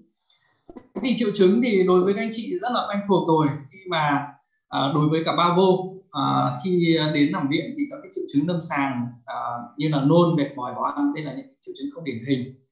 Thế thì uh, xin nhắc lại với anh chị là uh, cái triệu chứng này nó bây giờ chúng ta đã thấy rằng là cái việc tiêm phòng vaccine uh, nó cũng khá là với cái tỷ lệ rất là cao uh, rồi. Cho nên là cái việc mà biểu hiện trên triệu chứng lâm sàng nó có sự thay đổi rất là lớn. Từ những cái con đến nằm viện nó chỉ có những biểu hiện rất là nhẹ nhàng là nôn tiêu chảy nhẹ à, sau đó là hồi phục. Và có những cái trường hợp vẫn có những biểu hiện rất là nghiêm trọng mặc dù đã tiêm đến là 30 vaccine nhưng vẫn có những cái biểu hiện uh, rất là nghiêm trọng. Thế thì cái ờ, uh, signaling để chúng ta uh, nghĩ đến cái việc là chó sẽ bị uh, nhiễm bao vô thì đó là đối với những con chó dưới một năm tuổi à, và có biểu hiện đột ngột là à, xuất hiện rất là đột ngột như là à, mỏi mệt buồn nôn à, tiêu chảy. Và tiêu chảy thì đối với những bác sĩ nhiều kinh nghiệm thì cái mùi của phân bao vô nó rất là khác nó rất là khắm và nó rất là mùi khá là đặc trưng. Thế thì à, đây là những cái biểu hiện trên lâm sàng. Tuy nhiên thì đây không đủ chứng cứ để chúng ta kết luận à, bởi vì là nó còn à, à, cũng có biểu hiện này rất là giống và ừ, là biểu hiện không không đặc trưng. Còn trong trường hợp nôn và sốt thì đối với những con chó mà biểu hiện nôn thì uh, chúng ta thấy hầu hết là có biểu hiện nôn. Nhưng trong suốt quá trình điều trị chúng ta sẽ gặp những cái con như giống uh, pitbull là những cái con mà có biểu hiện nôn rất là nghiêm trọng uh, rất là uh, là nôn mà chúng ta thấy rằng là có nhiều những các bác sĩ gọi điện tư vấn là không biết là làm cách nào để chúng ta có thể cầm nôn được. Thì cái quá trình uh, biểu hiện lâm sàng nôn nó sẽ diễn ra rất là trầm trọng đối với những cái con như là pitbull. À, còn biểu hiện sốt thì sốt nó không phải là thường xuyên. À, sốt chúng ta chỉ thấy rằng là à, gặp ở khoảng 30 uh, ờ, phần trăm số chó nằm viện bị sốt. Nhưng sốt lai dai sốt cao kéo dài thì đối với những cái con như là con Rottweiler những cái con như là pet bỉ hoặc là những cái con pet dê thì là những cái giống chó này chúng ta gặp uh, cái biểu hiện sốt uh, nhiều hơn. Thế như vậy thì uh, mặc dù là uh, chó có những cái biểu hiện lâm sàng sẽ thay đổi không từ nhẹ nhàng đến mức độ nghiêm trọng trầm trọng là khác nhau. Nhưng ở đây thì chúng ta cũng uh, chưa đủ cái cơ sở để chúng ta đây nó chỉ là một trong những cái chỉ dấu để chúng ta có thể nghĩ hoặc là nghi ngờ là chó mắc bệnh bao gồm À, ngoài ra thì trong quá trình điều trị trên lâm sàng chúng ta thấy là chó mắc vô Pavo thì uh, có những biểu hiện như là thần kinh co giật. Thì cái biểu hiện thần kinh co giật này thì không phải là cái nguyên nhân nguyên phát do cái con Pavo này gây ra mà nó là cái biểu hiện thứ phát từ những cái nguyên nhân khác. Ví dụ như là xuất huyết não gây tổn thương lên cái hệ thần kinh hạ đường huyết trong quá trình chúng ta thấy rằng chó bỏ ăn lâu ngày. Ờ, không ăn bỏ ăn lâu ngày thì có thể là hạ đường huyết hoặc là à, nhiễm trùng huyết hay đơn giản là chó bị mất nước hoặc là rối loạn điện giải hoặc là trúng độc kiềm toan thì những cái uh, tiến triển sau này uh, của bệnh nó sẽ có thể dẫn đến cái triệu chứng chúng ta quan sát được đó là biểu hiện uh, thần kinh co giật. Nhưng đây không phải là biểu hiện nguyên phát do tổn thương trực tiếp từ bao mô gây ra. Bởi vì chúng ta thấy rằng là à, đến nay thì cũng có rất là nhiều những à, nghiên cứu cho rằng à, những cái chủng mới đang bắt đầu à, tấn công vào hệ thần kinh có những báo cáo nghiên cứu cho thấy là khi chúng ta làm cái phương pháp là hóa mô miễn dịch thì cũng tìm được cái con virus bavo ở não. Thì tuy nhiên thì nó cũng giống như là tim gan và mạch. Chúng ta hoàn toàn có thể đi tách được hoàn toàn có thể tìm thấy virus. Nhưng cái tổn thương uh, của các cơ quan này là hầu như không đáng kể. Sang một cái biểu hiện thứ hai mà anh chị sẽ rất là hay gặp đó là trong quá trình chúng ta điều trị làm điện bao vô thì chúng ta thấy rằng cái tích mạch mà chúng ta cắm ven đấy chúng ta cắm vào nó hay bị vỡ và nó cứ chảy ra. Cảm giác cái ờ, cái cái chỗ ờ, cái ven chúng ta cắm vào nó không chắc nó hay bị vỡ. Thì đấy là cái quá trình mà bị viêm cái tích mạch. Và cái viêm tích mạch này nó là hậu quả của cái quá trình rối loạn đông máu uh, ở do con bao vô gây ra. Nó tạo ra những cái huyết khối và nó tắc làm cho cái, cái tĩnh mạch ở cái vùng đó nó bị uh, viêm. Và một cái triệu chứng nữa à, chắc là chắc cái câu chuyện nếu như anh chị ở miền Bắc thì sẽ rất là nhớ đến câu chuyện này. Đó là à, nó bị nhiễm trùng à, nghiêm trọng ở cái vị trí mà chúng ta đặt kim luồn thế thì khi mà cái đường tiêu hóa của chó đang bị à, tổn thương nghiêm trọng thì cái vi khuẩn có thể từ đường tiêu hóa à, theo đường máu à, và gây ra nhiễm trùng. Và cũng có thể là do cái quá trình nhiễm trùng ngay tại bệnh viện mà chúng ta làm công tác vệ sinh không sạch à, trong cái quá trình chúng ta để kim luồn có một thời gian dài à, khoảng 2 ngày thì chúng ta phải thay. Hoặc là chúng ta thấy rằng là khi chúng ta để kim luồn thì nó có những cái ờ, huyết khối nó đọng lại trên đầu kim nó tắc lại. Và khi chúng ta dùng đến lần truyền sau chúng ta dùng thông kim mà chúng ta không hút ngược nó ra ngoài mà chúng ta đẩy bơm đẩy vào trong thì đây có thể là dẫn đến quá trình nhiễm trùng ở cái vị trí mà chúng ta đặt cái kim luồn.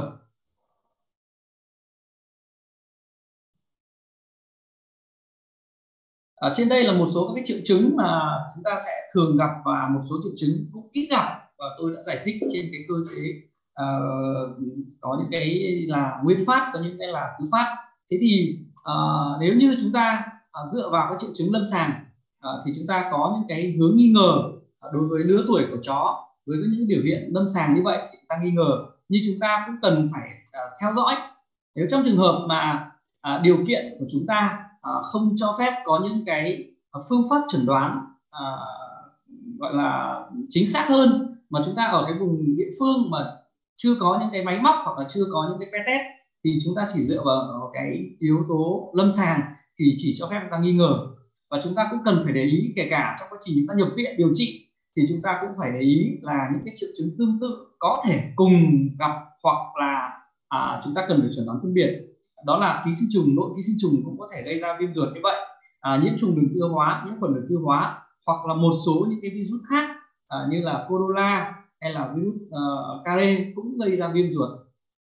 Thì đến đây uh, tôi xin uh, chia sẻ với các anh chị một điều là uh, khi mà các anh chị uh, thấy rằng uh, con chó có những cái biểu hiện lâm sàng như vậy và chúng ta nghĩ đến bao vô thì chúng ta nhập viện điều trị thì chúng ta sẽ cần phải lưu ý. Một là cái việc nó có thể là nhiễm với bao vô thật và hai là cái việc nó có thể à, không nhiễm bao vô thế thì nếu như trong trường hợp này các anh chị đặt ở trong phòng khám thì nếu các anh chị mà đặt nó ở phòng ba vô thì nó có một nguy cơ là nó không bị bao vô và nó lại có khả năng sẽ lây chéo ở trong bệnh viện và nó đến bệnh viện rồi mới bị bao vô cái thứ hai là nếu như trong trường hợp mà nếu anh chị đặt nó ở phòng nội trú thông thường thì nếu mà nó bị bao vô thì lại gây bệnh cho những cái con chó uh, khác uh, đang nằm điều trị những bệnh khác đúng không ạ? Thế thì ở đây các anh chị phải lưu ý rằng cái quá trình bắt đầu nhập viện theo dõi anh chị cần bố trí một phần hoặc là có cách thiết kế để cho những cái con chó đến nằm đang biểu hiện có những triệu chứng lâm sàng như thế này. Kể cả sau này chúng ta test dương tính rồi thì chúng ta cũng vẫn phải để nó ở một cái khu vực để tránh trường hợp nếu như trong cái quá trình nằm viện nếu như nó không thực sự bị bao vô mà à, tránh cái trường hợp nó bị lây nhiễm chéo từ cái con đến làm điều trị bao vô trước đó. À, một cái điều rất là quan trọng đối với điều trị và chẩn đoán bệnh bao vô đó là xét nghiệm máu. Và xét nghiệm máu ở đây chúng ta quan tâm đến một cái đó là cái chỉ số bạch cầu. Và vừa uh, như tôi vừa trình bày ở trên thì tại sao uh, nếu như trong những trường hợp mà viêm lâu ngày uh, cũng có thể kể cả trong trường hợp bị uh, kính trùng máu uh, trong quá trình đó thì cũng có thể chúng ta quan sát hiện tượng giảm bạch cầu. Nhưng đối với bệnh ba vô thì quá trình giảm bạch cầu là diễn ra rất nghiêm trọng.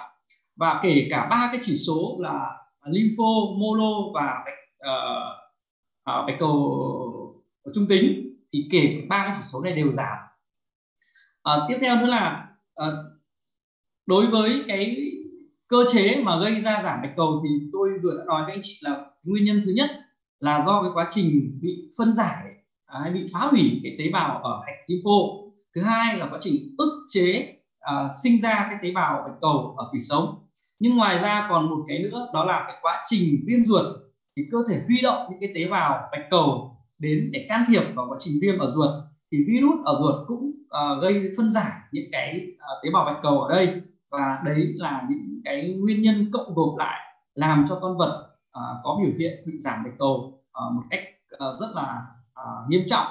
Ngoài ra thì các anh chị sẽ có thể nhìn thấy vì tiêu chảy ra máu cho nên là có thể có hiện tượng là uh, giảm hồng cầu và đặc biệt là có hiện tượng rối loạn đông máu và nhìn thấy đó là giảm tiểu cầu. Thì cái uh, hai cái chỉ số giảm tiểu cầu và giảm uh, hồng cầu các anh chị có thể nhìn thấy nhưng chúng ta tập trung vào cái chỉ số uh, giảm bạch cầu là quan trọng nhất và từ cái chỉ số giảm bạch cầu này thì chúng ta sẽ tư, uh, ờ, có thể tiên lượng được hoặc là đưa ra những cái phác đồ uh, để chúng ta can thiệp giảm tỷ lệ tử vong. Thế thì uh, dựa vào cái triệu chứng lâm sàng và kết quả xét nghiệm máu thì chúng ta cũng có thể là uh, có được một cái sự khẳng định uh, đối với bao vô tuy nhiên uh, nếu như chúng ta xét nghiệm máu sớm thì cái việc uh, giảm bạch cầu nó có thể là chưa xuất hiện và như vậy thì chúng ta phải dựa vào một cái chẩn đoán tiếp tức là chẩn đoán bằng cái test uh, nhanh. Thì cũng giống như là covid các anh chị thấy rằng là covid mặc dù chúng ta nhập khẩu những cái test được uh, đánh giá như là tiêu chuẩn châu Âu hoặc là uh, tất cả những cái test ở các nước phát triển uh, thế nhưng tuy nhiên thì uh, cái độ tin cậy của phương pháp dùng cái test này nó chỉ là khoảng 60 phần trăm kể cả những cái test của hãng tên tuổi thì ở đây nó sẽ có những cái uh, vì là uh, phần lớn hiện nay các phòng khám chúng ta phải sử dụng cái test này. Và như vậy thì các anh chị cần lưu ý để làm sao chúng ta hiểu đúng cái kết quả của cái việc chúng ta test lên âm tính hay dương tính. À, đầu tiên thì cái test thì nó rất là tiện dụng và dễ dùng và chi phí thấp và đặc biệt nó là cái cánh tay rất là hữu ích cho những bác sĩ là mới vào nghề. À, nó rất là có tính đặc hiệu cao bởi vì nó có thể phân biệt được uh, giữa cái con bao vô và con giảm bạch cầu tuy nhiên nó cũng có rất là nhiều cái nhược điểm. Đó là độ nhạy thì thấp. Ở đây có tính là độ nhạy và độ đặc hiệu. Thế thì độ nhạy đó là khả năng bị bệnh mà tìm được ra bệnh. Còn độ đặc hiệu thì nó không nhầm giữa bệnh này với bệnh kia. Thế thì ở đây chúng ta thấy rằng là à, nó sẽ phụ thuộc vào cái lượng virus mà chúng ta lấy được mẫu mà chúng ta à, tùy những cái giai đoạn của bệnh mà cái khả năng à, thải virus ra ngoài là khác nhau. Rồi cái kỹ thuật của người lấy mẫu cũng rất là khác nhau. Có những bạn thì à, lấy cả ở dì mắt của chó để test bao vô. Thì chó ờ, bao vu không được thải trừ qua cái đường à, mắt không giống như care và chúng ta lấy nếu như chúng ta lấy mà phân nó khô hậu môn không có phân thì chúng ta có thể là cũng không thể lấy được virus virus.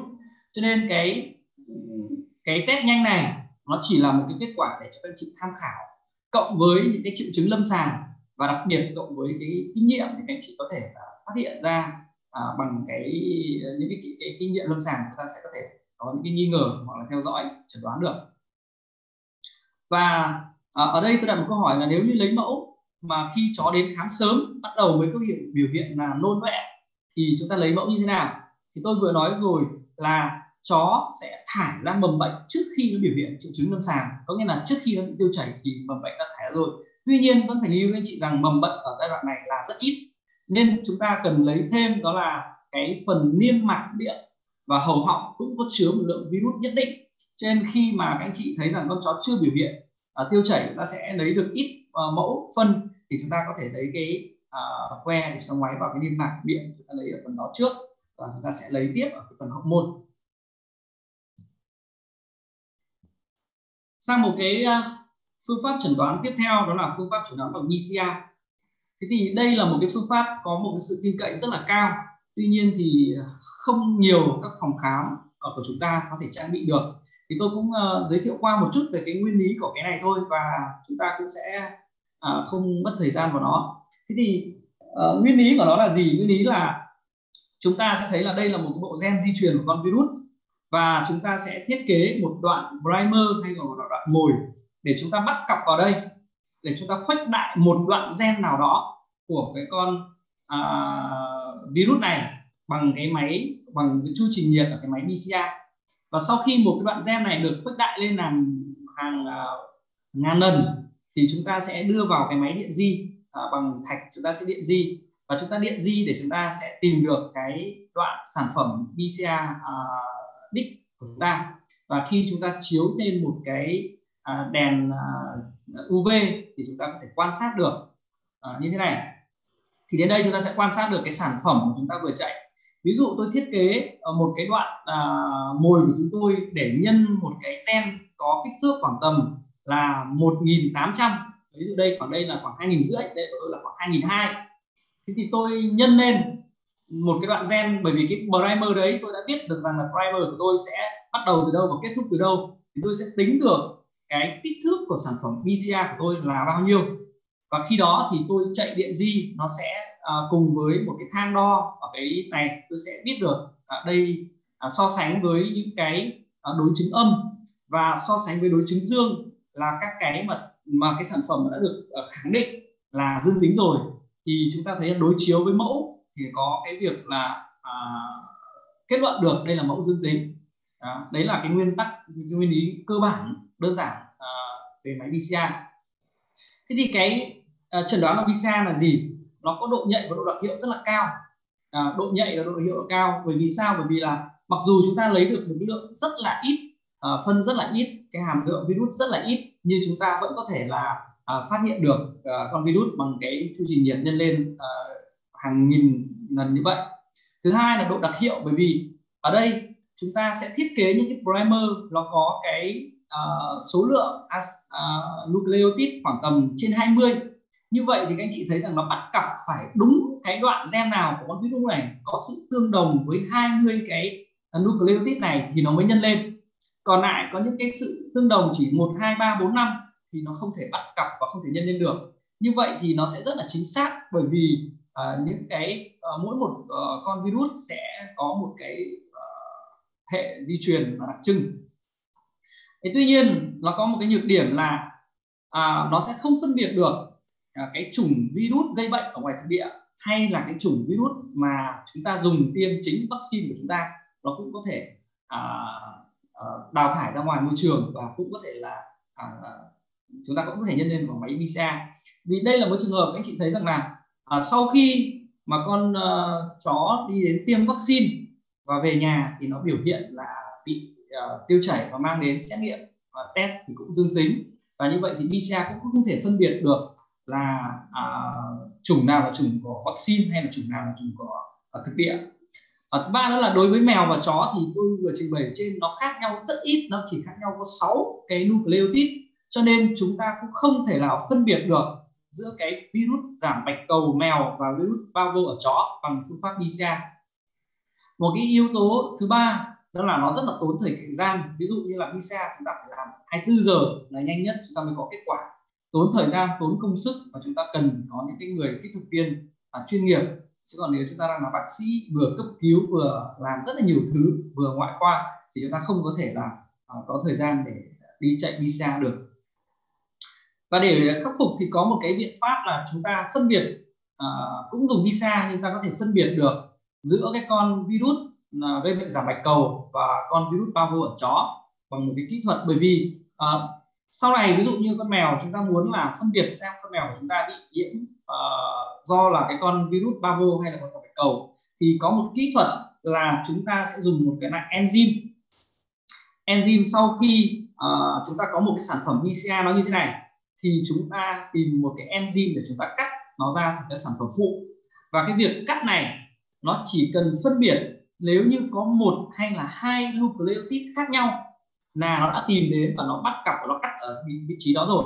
Cho nên chúng ta thấy rằng mèo và chó thì nó chỉ khác nhau ở 6 cái vị trí à, đó. Thế thì chúng ta chỉ cần tìm một cái enzyme mà có khả năng cắt ở một cái vị trí nào đó mà giúp chúng ta phân biệt được giữa con chó và con mèo. Ví dụ như trường hợp chúng ta dùng cái enzyme này thì ở đây nếu như là chó thì chúng ta sẽ thấy nó cắt một điểm và chúng ta được hai sản phẩm phụ.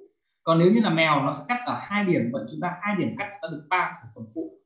Ví dụ như thế này thế xin lỗi là ở mèo thì cắt hai còn ở chó là cắt ba. Như vậy thì chúng ta lại chạy lại và chúng ta điện di lên. Thì chúng ta sẽ nhìn thấy với trường hợp mà chúng ta nhìn thấy là sản phẩm phụ của chúng ta cái sản phẩm bước đầu là một nhưng chúng ta lại nhìn thấy sản phẩm phụ của chúng ta là ba sản phẩm bị cắt ra như thế này.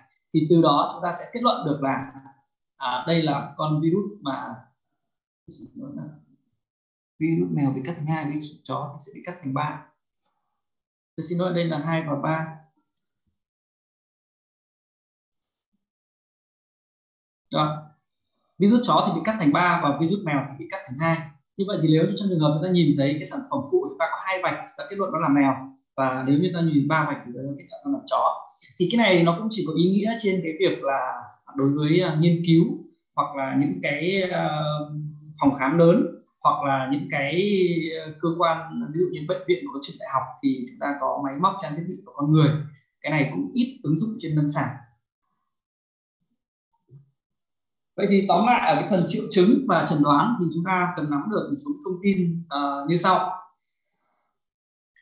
Uh, thứ nhất là về triệu chứng thì uh, triệu chứng thường gặp khi mà virus uh, nhiễm virus parvo thì những triệu chứng không điển hình uh, như là nôn uh, như là uh, tiêu chảy uh, như là sốt thì đấy là những triệu chứng không điển hình. Ngoài ra thì có thể là có những triệu chứng mà phát triển sau ví dụ như là thần kinh và có hai cái triệu uh, những triệu chứng uh, thần kinh nhưng mà những triệu chứng thần kinh này thì không phải là triệu chứng nguyên phát do virus parvo gây ra. Thứ ba nữa là có hai cái biến chứng thường gặp chúng ta sẽ hay để ý đó là viêm tĩnh mạch và viêm nhiễm khuẩn tại cái vị trí chúng ta đặt kim nguồn đây là những cái uh, nhiễm khuẩn kế phát ở trong cái quá trình uh, nhiễm parvo thì các anh chị cũng cần phải lưu ý. Uh, trong các chỉ số sinh lý máu uh, thì khi chó nhiễm parvo thì có những chỉ số bạch cầu hồng cầu và tiểu cầu đều biến đổi đều giảm. À, tuy nhiên thì à, bạch cầu à, giảm nghiêm trọng và giảm cả ở ba cái à, bạch cầu lympho bạch cầu muro và à, bạch cầu à, trung tính đều giảm. À, việc chẩn đoán bệnh ba vô tại phòng khám thì chúng ta thường phải dựa vào cái triệu chứng lâm sàng. Tuy nhiên thì chúng ta không thể khẳng định được và chúng ta sẽ phải dùng cái sự hỗ trợ từ cái que test. Tuy nhiên chỉ có khi nào chúng ta dùng được BCA thì các anh chị mới khẳng định được là à, mắc bệnh còn nếu như chỉ dùng que test thì các anh chị nhớ rằng độ tin cậy và chúng ta chỉ dừng lại ở 60% trăm. trong trường hợp đó tôi vẫn lưu ý với anh chị rằng à, mặc dù đến có biểu hiện nôn có biểu hiện à, tiêu chảy test nên bao vô hai vạch nhưng anh chị vẫn phải à, dự phòng bởi vì cái tỷ lệ chẩn đoán sai cũng vẫn là có và trong trường hợp này thì các anh chị cho nhập viện và điều trị uh, chúng ta vừa điều trị vừa theo dõi và chúng ta có thể uh, tham khảo bằng kết quả xét nghiệm máu. Tuy nhiên nếu như xét nghiệm máu giai đoạn sớm thì bạch cầu chưa giảm và chúng ta có thể làm lại cái xét nghiệm ở những ngày tiếp theo.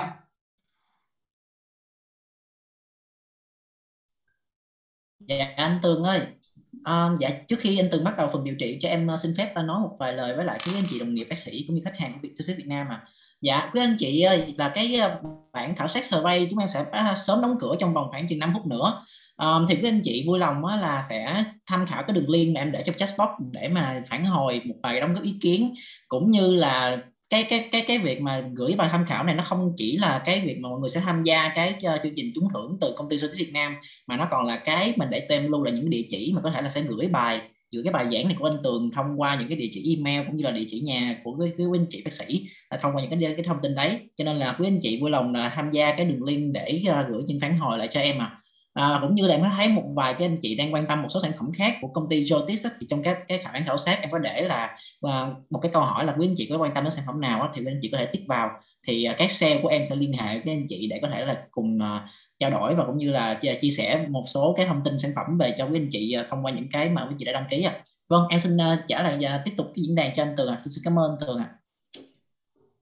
À. Cảm ơn em Khánh. Và như vậy thì ờ, chúng ta sẽ tiếp tục và chúng ta đi vào phần cuối cùng à, và ở cái phần này thì ờ, sau khi cuối buổi thì chúng ta sẽ trao đổi và rất là mong các anh chị ở mọi miền đất nước có những cái điều kiện kinh tế phát triển có những cái thâm niên kinh nghiệm thì chúng ta sẽ cùng nhau chia sẻ và thảo luận ở trong cái cuối buổi. Thế thì uh, từ đó thì chúng ta sẽ uh, với những cái uh, phần bên trên với những kiến thức ở bên trên thì chúng ta cũng uh, chỉ uh, mong là uh, khi mà con chó có chẳng may uh, mắc bệnh bao vô đến điều trị tại phòng khám và chúng ta thấy rằng là chúng ta sẽ mong rằng uh, sẽ có thể là uh, chữa được và uh, gửi lại uh, trao về cho bé về chủ. Thế thì ờ, đối với điều trị bao vô thì tất ờ, chắc là các anh chị ở đây thì chúng ta thấy là có rất là nhiều người có nhiều kinh nghiệm rồi. Thì ở cái phần này ờ, tôi sẽ tập trung vào giải quyết một số cái vấn đề như sau. Thứ nhất là xử lý sốc giảm thể tích. Thứ hai là cân bằng điện giải. À, thứ ba là cầm nôn hạ sốt. Trong những trường hợp có những con chó đến và tôi vừa nói như pitbull hoặc là bét bỉm là những cái con mà có biểu hiện nôn sốt kéo dài à, điều trị giảm bạch cầu à, điều trị à, chống nhiễm khuẩn kế phát à, và điều trị à, thuốc để điều trị virus bao hay là thuốc nâng cao sức đề kháng. Thì à, ở phần điều trị này thì chúng ta sẽ đi vào giải quyết lần lượt những vấn đề này. Thế thì ở đây các anh chị sẽ nhìn thấy à, dựa trên cái gì mà chúng ta lại có cái chiến lược hay là có những cái uh, hợp phần để điều trị như vậy? Thế thì ở đây các anh chị thấy rằng là đối với cái thể ruột này có thể dẫn đến tử vong bởi hai con đường. Con đường đầu tiên rất là nhanh đó là mất nước ờ, rối loạn điện giải và sốc có thể dẫn đến tử vong ngay ngày thứ nhất hoặc ngày thứ hai à, mắc bệnh. À, nhưng cái đường thứ hai nó sẽ hay gặp hơn đó là con đường mà phát triển từ cái việc nhiễm trùng huyết à, rồi gây đông máu nội mạch hay là hệ thống uh, cái hội chứng uh, đáp ứng miễn dịch uh, toàn thân thì cái tỷ lệ gây ra tử vong ở đây cũng rất là cao.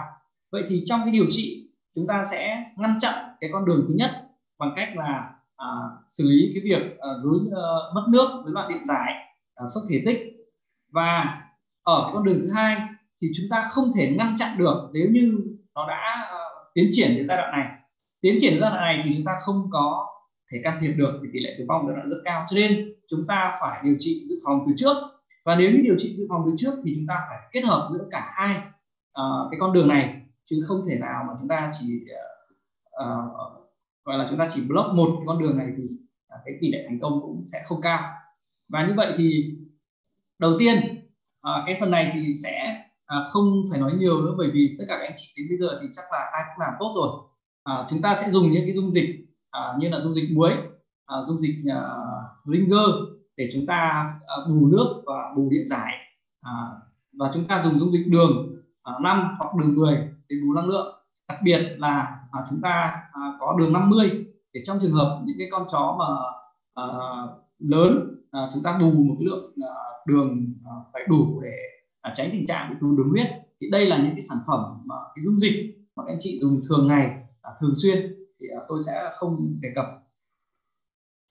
ở đây tôi chỉ đề cập là trong trường hợp uh, thường thì băng vô chúng ta cho làm nội trú và chúng ta phải điều trị tích cực và có những phòng khám thì chúng ta có bác sĩ trực đêm và có những phòng khám thì chúng ta chỉ làm đến 9 10 giờ chúng ta đi về. Thì buổi sáng ngày hôm sau đến chúng ta mở cửa à, vào lúc 8 giờ thì trông thấy là có rất nhiều những con chó bị uh, chết ở cái giai đoạn này. Thì phần lớn là uh, cái trường hợp này là sốc mà thể tích nếu trong trường hợp đêm nó tiêu chảy chúng ta không cấp cứu kịp thời. Thì nếu như trong trường hợp mà chúng ta đến mà thấy rằng con chó tiêu chảy uh, lênh láng làm đẹp và thở yếu thì chúng ta có thể à, đánh giá ngay xem là nó có bị sốc thể tích hay không. Và trong trường hợp này thì chúng ta sẽ dùng các cái dung dịch như là linger hoặc là dung dịch muối và chúng ta truyền rất nhanh. Chúng ta truyền nhanh nhất có thể để chúng ta bù lại à, cái lượng à, thể tích à, của nó. Và trong trường hợp chúng ta kiểm tra tiếp cận à, mạch thấy yếu thì chúng ta có thể dùng cái à, adrenaline để chúng ta à, hỗ trợ à, về cái vấn đề tim mạch. Thì à, đây là những cái biện pháp ờ, xử lý rất là đơn giản và tất cả các anh chị ở đây chúng ta đều làm tốt. Tôi muốn tập trung đến cái phần cân bằng điện giải. Ở cái phần cân bằng điện giải này thì các anh chị thấy rằng là à, những chất điện giải là những chất có chức năng làm thay đổi cái hiệu điện thế của màng và nó có vai trò trong những cái tế bào thần kinh tế bào cơ và tế bào cơ tim. Và như vậy thì rối loạn điện giải sẽ làm ảnh hưởng đến chức năng của các tế bào như là chức năng của tim chức năng của thần kinh chức năng vận động cơ. Thì trong các cái điện giải à, chúng ta thấy là điện à, chia ra làm hai loại những loại điện tích dương và những loại điện tích âm. Thì điện tích dương ở đây chúng ta sẽ có natri và kali là chủ yếu. Ngoài ra chúng ta có canxi magie. Còn điện tích âm thì có clo và cái gốc à, HCO3 trừ. Ngoài ra còn có một số những amino acid thì nó mang điện tích âm. Thì bằng cái việc uh, di chuyển vào trong ra ngoài các cái điện tích uh, các cái chất điện giải này thì nó làm cho cái màng điện thế của màng nó sẽ thay đổi và từ đó nó sẽ uh, giúp cho đóng mở những cái kênh hoặc là những cái uh, protein ở màng hoặc là dẫn truyền thần kinh hoặc là các chức năng khác. Thế thì ở đây anh chị lưu ý à, đối với chất điện giải chỉ là sự đi ra hoặc đi vào. Thì ở đây chúng ta nhìn thấy natri và kali. Thì nếu như là natri thì chủ yếu nằm ở môi trường ngoại bào còn kali thì lại nằm chủ yếu ở trong môi trường uh, nội bào. Uh, so với uh, chúng ta sẽ quan tâm đến hai cái uh, chất điện giải này là chính. Và như vậy thì các anh chị thấy rằng là chúng ta sẽ thấy cái nguy cơ bị uh, uh, hạ cái kali huyết. Thì vì uh, vì là cái uh, yếu tố natri ở bên ngoài thế thì ờ, tôi, tôi xin lỗi là tôi sẽ nhắc lại là cái ngoại um, ngoại bào này gồm những cái gì? Thì ngoại bào nó gồm có cả ở trong lòng mạch và ở kẽ bào. Ờ, ở cái kẽ mô ở kẽ mô và trong lòng mạch. Và nội bào là trong tế bào rồi nhưng còn ngoại bào thì đây nó sẽ là ở kẽ mô và trong lòng mạch. Thế thì chúng ta hay gọi cái câu là hạ kali huyết thì có nghĩa là nó làm cho cái nồng độ kali ở ngoại bào này giảm xuống. Và với cái uh, chỉ số là giảm xuống dưới uh, 3,5 uh, minimum trên lít thì chúng ta gọi là hạ kali huyết còn nếu trên 4,5 phần trăm thì chúng ta gọi là tăng kali huyết còn lại đối với natri thì nó rất là lớn nó từ 142 như thế này thì rất ít khi uh, nó có chúng ta có cái khái niệm là hạ natri huyết hoặc uh, tăng natri huyết thì không có. Và chúng ta tập trung đến cái thằng uh, kali như thế này thế thì cái gì làm cho cái kali này bị giảm? Ở bên ngoài nó có bốn thôi thì làm cái gì để làm cho nó giảm? Thế thì nó có hai cái. Một là nó bị mất à, trong quá trình ví dụ như là thận cũng thải trừ kali à, cũng bị mất. Hoặc là trong quá trình con chó ba vô bị viêm ruột tiêu chảy à, như vậy nó bị mất à, nước ở cái, cái đường ruột thì cũng làm cho giảm cái uh, kali ngoại bào này. Nhưng ngoài ra còn một cái yếu tố làm giảm cái kali ngoại bào mặc dù không mất đó là sự di chuyển kali ngoại bào từ bên ngoài vào bên trong. Và từ bên ngoài vào bên trong để làm gì? Cái cơ chế sinh lý để cân bằng axit. Cái quá trình vận chuyển đường gluco cũng có sự tham gia của cái kali đi từ ngoài vào trong. Như vậy ở đây chó mắc bệnh bao vô thì nó sẽ có nguy cơ phát triển uh, cái hạ kali huyết này. Bằng cách là chó nhịn ăn lâu ngày đến nằm viện và tiêu chảy thì cái mất uh, một cách cơ học là bị thải ra ngoài mất là một cách thứ nhất một cơ chế thứ nhất. Cái cơ chế thứ hai là quá trình nôn. Thế thì bản thân nôn ở dịch dạ dày chúng ta thấy mất axit ờ, uh, HCl thế thì ở đây không mất trực tiếp kali nhưng cũng lại góp phần vào cái quá trình làm hạ kali huyết. Tại sao lại như vậy? Bởi vì cái quá trình chúng ta làm mất H cộng thì dẫn đến là chúng ta cơ thể rơi vào trạng trúng độc kiềm. Và để cho cái H cộng đi từ bên trong tế bào bù ra cho bên ngoài để cân bằng uh, axit bazơ thì đồng thời phải đánh đổi cái uh, ion kali từ bên ngoài phải đi vào bên trong. Thế như vậy cái quá trình mất uh, nôn thì dẫn đến là mất chất điện giải chỉ là clo nhưng lại gián tiếp làm hạ kali huyết bằng cách là nó bù lại cho cái thằng H cộng. À, đi vào trong. Và một cái yếu tố nữa, đó là trong quá trình con chó làm điều trị thì ở bên trên chúng ta vừa nói rồi chắc chắn chúng ta phải truyền đường. Còn nếu như ta truyền đường mà chúng ta truyền với tốc độ quá nhanh, hoặc là chúng ta truyền đường làm cho quá mức cái nồng độ đường trong máu, thì khi đó cơ thể sẽ insulin để làm hạ đường huyết và cái quá trình vận chuyển đường đi vào bên trong cũng cần cái sự tham gia của yếu tố kali này. Như vậy, cho nên là đối với chó mắc bệnh bao vô ở cái giai đoạn điều trị sẽ có nguy cơ làm hạ kali huyết. Và bây giờ thì chúng ta phải biết rằng là nếu như để chẩn đoán được hạ kali huyết nếu như uh, chúng ta điều kiện thì chúng ta mua cái máy điện giải đồ thì không nói làm gì. Thế nhưng mà tuy nhiên thì với cái điều kiện ở phòng khám của Việt Nam hiện nay thì chúng ta đều uh, không có cái máy này. Và chúng ta cần phải chẩn đoán và cân bằng. Tôi hay nói là cân bằng thủ công đấy. Thế thì cân bằng thủ công thế thì nhắc với anh chị một điều là cái kali nó rất là à, quan trọng và nó chỉ có sự sai suất rất ngắn từ 0,35 là thấp như đến 4,5 là cao. Và cái nguy cơ mà làm hạ kali huyết ấy thì chỉ là yếu cơ mệt mỏi và cũng có thể dẫn đến tử vong. Nhưng cái con đường mà dẫn đến do quá hay là tăng kali huyết thì dẫn đến tử vong còn cao hơn. Cho nên trong cái việc là ở đây tôi uh, hướng dẫn các anh chị là chúng ta cân bằng bằng tay thì các anh chị phải rất thận trọng và phải à, lắm được bài thì chúng ta mới làm được. Còn nếu như anh chị mà hiểu mang máng mà anh chị làm thì cái nguy cơ là các anh chị chưa cứu được à, chó thì đã gây có thể là gây tử vong rồi. Thì ở phần này tôi muốn anh chị à, lưu ý thật kỹ và tí nữa chúng ta sẽ thảo luận thật rõ và các anh chị vừa làm à, vừa tích lũy kinh nghiệm và chúng ta sẽ à, Ờ, à, làm rất là thận trọng. Thế thì cái biểu hiện của hạ kali huyết là gì? Thì cái kali như tôi vừa nói rồi điện giải thì nó sẽ có vai trò ảnh hưởng đến chức năng của tế bào thần kinh tế bào cơ tim và vấn đề cơ vận động. Thế thì khi mà hạ cơ uh, kali thì sẽ có hiện tượng đầu tiên là cơ nó yếu. Uh, con chó sẽ rất là mệt mỏi và liệt hai chân sau và nằm thì khi đó chúng ta thấy là nó nằm nó không đứng dậy được uh, không ngóc đầu lên được và rất là mệt cộng với nếu như nôn nhiều thì lại rối loạn uh, axit bazơ thì khi rối loạn axit bazơ đó thì có thể là làm cho con chó phải cân bằng lại bằng con đường gì? Hô hấp.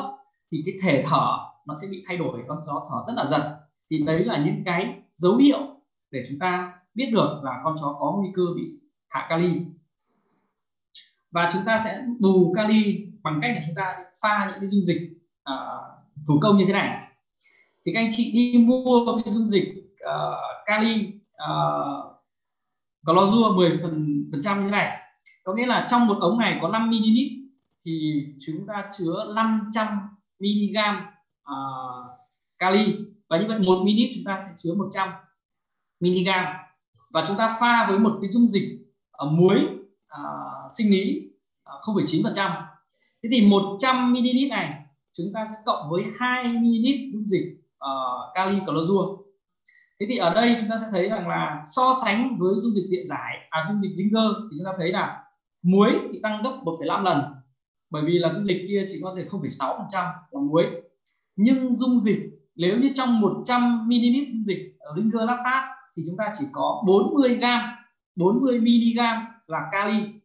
Nhưng ở đây chúng ta pha vào đây 2 ml chúng ta sẽ được 200 như vậy so với cái dung dịch Ringer thì nó cao gấp 5 lần và như vậy thì bây giờ cái dung dịch này chúng ta không còn là dung dịch uh, đẳng trương nữa mà nó là một dung dịch ưu trương. Và chúng ta truyền nó thì chúng ta phải rất là à, thận trọng. Ở đây uh, những cái bước uh, thận trọng để chúng ta à, truyền. Đầu tiên thì chúng ta thấy rằng là cái việc mà hạ kali huyết nó sẽ gặp nhưng nó không phải ở tất cả các trường hợp. Nó chỉ xảy ra khi nào là con vật đến nằm viện mà có hiện tượng nôn rất nhiều ba bốn ngày để làm tiêu chảy rất nhiều và chúng ta bù lại cân bằng nước cân bằng điện giải ba bốn ngày thì đến ngày thứ tư chúng ta thấy hoặc đến ngày thứ ba tùy theo cái thời gian nó vào nhập viện nhé không căn cứ khoảng là vào ba ngày thì chúng ta thấy nó nằm à, mỏi mệt à, thở rất là giật. Thì chúng ta sẽ nghĩ đến cái việc là à, nó sẽ bị hạ cái kali. Và những cái dấu hiệu để chúng ta biết được đó là chúng ta thấy nó nằm mệt mỏi liệt uh, yếu cơ liệt hai cơ chân sau nó thở giật thở thể bụng và nó thở giật thì khi đó chúng ta pha cái dung dịch như tôi vừa hướng dẫn ở trên. Và chúng ta truyền thật chậm, bởi vì bây giờ dung dịch của chúng ta là có nồng độ, các chất điện giải rất đậm đặc, không còn là dung dịch đẳng dương nữa. Và chúng ta truyền thật chậm, nhưng chúng ta vừa truyền thì chúng ta vừa quan sát. Khi nếu như đúng là hạ kali thì chúng ta truyền vào và con chó có hiện tượng đáp ứng rất là tốt. Con mũi này. Nó đáp ứng rất là tốt và chỉ khi chúng ta truyền vào thì ta thấy là nó thở êm hơn à, con chó tỉnh táo hơn và chúng ta gọi nó có phản ứng. Ok. Nó có phản ứng. Thế thì khi đấy à, chúng ta không cần truyền nhiều. Nếu như những con chó nhỏ con chó khoảng một cân hơn một cân à, chúng ta chỉ truyền khoảng tầm 5 ml là nó đã có hoàn toàn có biểu hiện rất rõ ràng khác biệt rồi. Đối với con chó to chúng ta chỉ truyền đến 20 30 ml thôi là con chó đã đáp ứng và có biểu hiện à, rất là rõ ràng. Tuy nhiên là đến giai đoạn này thì chúng ta tránh cái tình trạng để tránh uh, làm tăng kali huyết. Như tôi vừa nói tăng kali huyết thì dẫn đến tỷ lệ tử vong và dẫn đến tử vong rất là nhanh và cao hơn. Thế thì đến đây nó đáp ứng nó ổn thì chúng ta dừng lại. Và dừng lại thì có thể đến đây nó vẫn có thể thiếu nhưng chúng ta sẽ pha bổ sung trong những lần truyền sau. Mỗi một lần truyền sau chúng ta sẽ bổ sung thêm uh, pha nó tạo thành uh, loãng thành 10 lần 20 lần. Chúng ta bổ sung và cứ mỗi lần đi ở chúng ta bù nước thì chúng ta có thể bù điện giải. Và chúng ta lấy cái dung dịch này chúng ta gọi như là một dung dịch gốc. Chúng ta hút ra 5 đến 10 cc và chúng ta pha vào một cái chai đường năm hoặc là chai muối để chúng ta bổ sung trong những lần sau. Và nếu như trong trường hợp nó tỉnh lên và một lát nó lại về như vậy chúng ta có thể truyền ngắt quãng như vậy cũng được. Và một lưu ý là tuyệt đối chúng ta sẽ không được cân bằng thủ công này đối với con buôn pháp. Bởi vì đối với buôn pháp như thế này nó rất là mẫn cảm với cái kali bởi vì cái giống mũi ngắn. Và khi chúng ta truyền vào bản thân nó chưa phải là à, cái, cái tốc độ truyền hoặc là cái nồng độ à, kali chưa cao lắm thì nó đã gây đến cái hiện tượng là à, rối loạn nhịp tim và gây đến tử vong. Cho nên tuyệt đối cái trường hợp này là không được dùng cho những cái giống mũi ngắn đặc biệt là buôn phát và đến đây thì các anh chị thấy rằng sẽ có một cái biện pháp để chúng ta an tử cho chó mà không quá tốn kém. À, là chúng ta sẽ gì? À, chúng ta sẽ dùng thuốc an thần và chúng ta truyền cái nồng độ ờ, uh, kali vào trong máu. Và chúng ta thấy rằng là đối với những cái án tử hình chúng ta phải dùng những cái thuốc đến 500 triệu một người. Nhưng chúng ta để cho cái tim ngừng một cách gọi là hoàn toàn thì người ta vẫn phải truyền cái dung dịch kali vào. Cho nên ở đây thì các anh chị thấy rằng là à, chúng ta truyền phần này và tôi vẫn nhắc lại là cân bằng một cách thủ công thì chúng ta phải rất là thận trọng và rất là lưu ý đặc biệt không dùng đối với buôn pháp trong mọi trường hợp. À, sang đến phần tiếp theo đó là phần điều trị giảm bạch cầu. Thì thưa các anh chị rằng là có những cái nghiên cứu người ta báo cáo rằng nếu như chó mắc bệnh ba vô đến mà sau khi nằm viện mà xét nghiệm cái chỉ số bạch cầu mà trên 4 thì hoàn toàn tiên lượng là tỷ lệ thành công rất là cao. Và như vậy thì người ta dùng cái chỉ số bạch cầu để làm cái chỉ số để tiên lượng uh, cho cái việc điều trị bao vô và nếu anh chị search trên mạng thì cũng thấy có rằng có những cái báo cáo nghiên cứu là người ta sử dụng cái chất đó là uh, chúng ta gọi là fingratin. Uh, fingratin. Thì fingratin là một cái yếu tố kích tăng trưởng uh, và nó được sản xuất trong những tế bào nội mô hay tế bào bạch cầu hoặc một số tế bào miễn dịch thì trong trường hợp sinh lý bình thường nó sẽ là yếu tố để kích thích thủy xương ờ, uh, thủy sống uh, sinh ra bạch cầu. Thì trong cái trường hợp này chúng ta sẽ có hai loại. Đây nó là một loại protein uh, tái tổng hợp và người ta dựa theo hai cấu trúc. Một là cấu trúc của người và hai là cấu trúc của uh, đặc trưng cho chó. Thì đối với cái cấu trúc của người này các anh chị sẽ thấy ở các bệnh viện người ta dùng để điều trị cho các bệnh nhân mà sau khi điều trị hóa trị liệu bạch cầu bị giảm đột ngột bởi vì quá trình sinh bạch cầu thì sống bị ảnh hưởng. Và người ta dùng cái này để kích bạch cầu lên phòng cái việc là nhiễm trùng trong trường hợp bạch cầu bị thấp. À, tuy nhiên cho những có nhiều những báo cáo nghiên cứu thì thấy rằng nếu như dùng cái uh, kích bạch cầu của người như này filgratin này thì nó có tác dụng nhưng chỉ kích được những cái uh, bạch uh, cầu là neutrophil ở chó mà thôi. Còn cái báo cáo là dùng nếu như chúng ta dùng cái uh, protein tái tổ hợp uh, này nhưng mà người ta làm theo cái uh, của chó đặc, uh, đặc trưng cho chó thì kích uh, nên cả ba uh, cả lympho cả molo và cả bạch cầu trung tính. Thế thì tuy nhiên thì uh, cái này nó rất là đắt. Cái này cái của chó này nó rất là đắt và cái của người thì nó rẻ hơn rất là nhiều. Thế thì cái của chó người ta cũng chỉ dừng lại thí nghiệm thôi và trên lâm sàng tôi thấy dùng uh, cả cái loại của người này đều có tác dụng. Và tí tôi sẽ trình bày với anh chị cái phần kết quả ở đây nếu như trong trường hợp à, chó đến nằm viện mà các anh chị xét nghiệm nếu như nó giảm bạch cầu nghiêm trọng ở cái mức độ dưới một thì các anh chị phải dùng với cái điều là một mu cho một kg. Một cái uh, mini này một mini này nó chứa có khoảng à, một phải một hoặc không phải một gì đó thì tôi thấy là một cái này chúng ta sẽ chỉ dùng được cho 30 kg. Còn nếu như trong trường hợp mà con chó à, chúng ta xét nghiệm máu mà bạch cầu nó giảm ở dưới 3 trên dưới 3 đó, hoặc trên dưới 2 thì chúng ta dùng một cái à, nọ này có 30 à, mu này thì cho 60 kg thể trọng. Và đây là những cái kết quả mà trực tiếp uh, chúng tôi điều trị uh, trên lâm sàng. Thì chúng ta thấy rằng trường hợp thứ nhất uh, khi mới vào đến xét nghiệm thì uh, bạch cầu chưa giảm uh, mọi chỉ số bình thường nhưng đến nằm viện một ngày và đến ngày thứ ba xét nghiệm thì cái bạch cầu đã giảm xuống. Tổng số còn 1.2 ba yếu tố lympho molo bạch cầu trung tính đều giảm. Ngoài ra hồng cầu cũng giảm và tiểu cầu đã có sự giảm.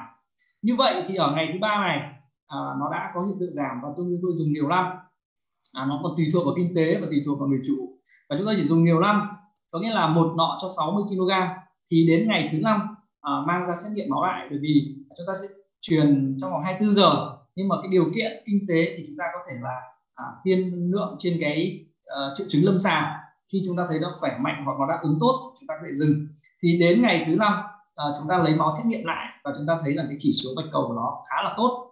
Và lên đến 3.7 à, bạch cầu tổng số và ba cái chỉ số bạch cầu đều tăng.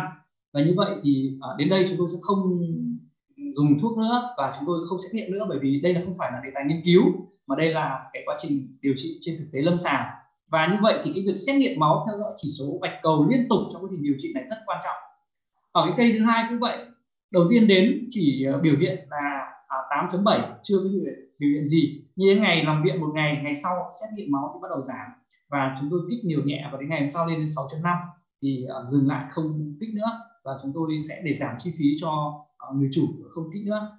Và những cái cây tiếp theo cũng vậy à, đây là 6 cái cây mà tôi điều trị trong vòng tháng trước và tôi lấy là một cái ví dụ để các anh chị thấy rằng là mặc dù báo cáo nghiên cứu là kết luận là không có hiệu quả hoặc là có những báo cáo nghiên cứu là chỉ có thể làm tăng được cái tỷ lệ bạch cầu trung tính nhưng trên thực tế ở đây chúng ta nhìn thấy à, là cả ba cái chỉ số bạch cầu này à, đều có à, đáp ứng với cái việc chúng ta dùng cái phenogratin à, đối với chó. À, hai cái liều chúng tôi vừa nói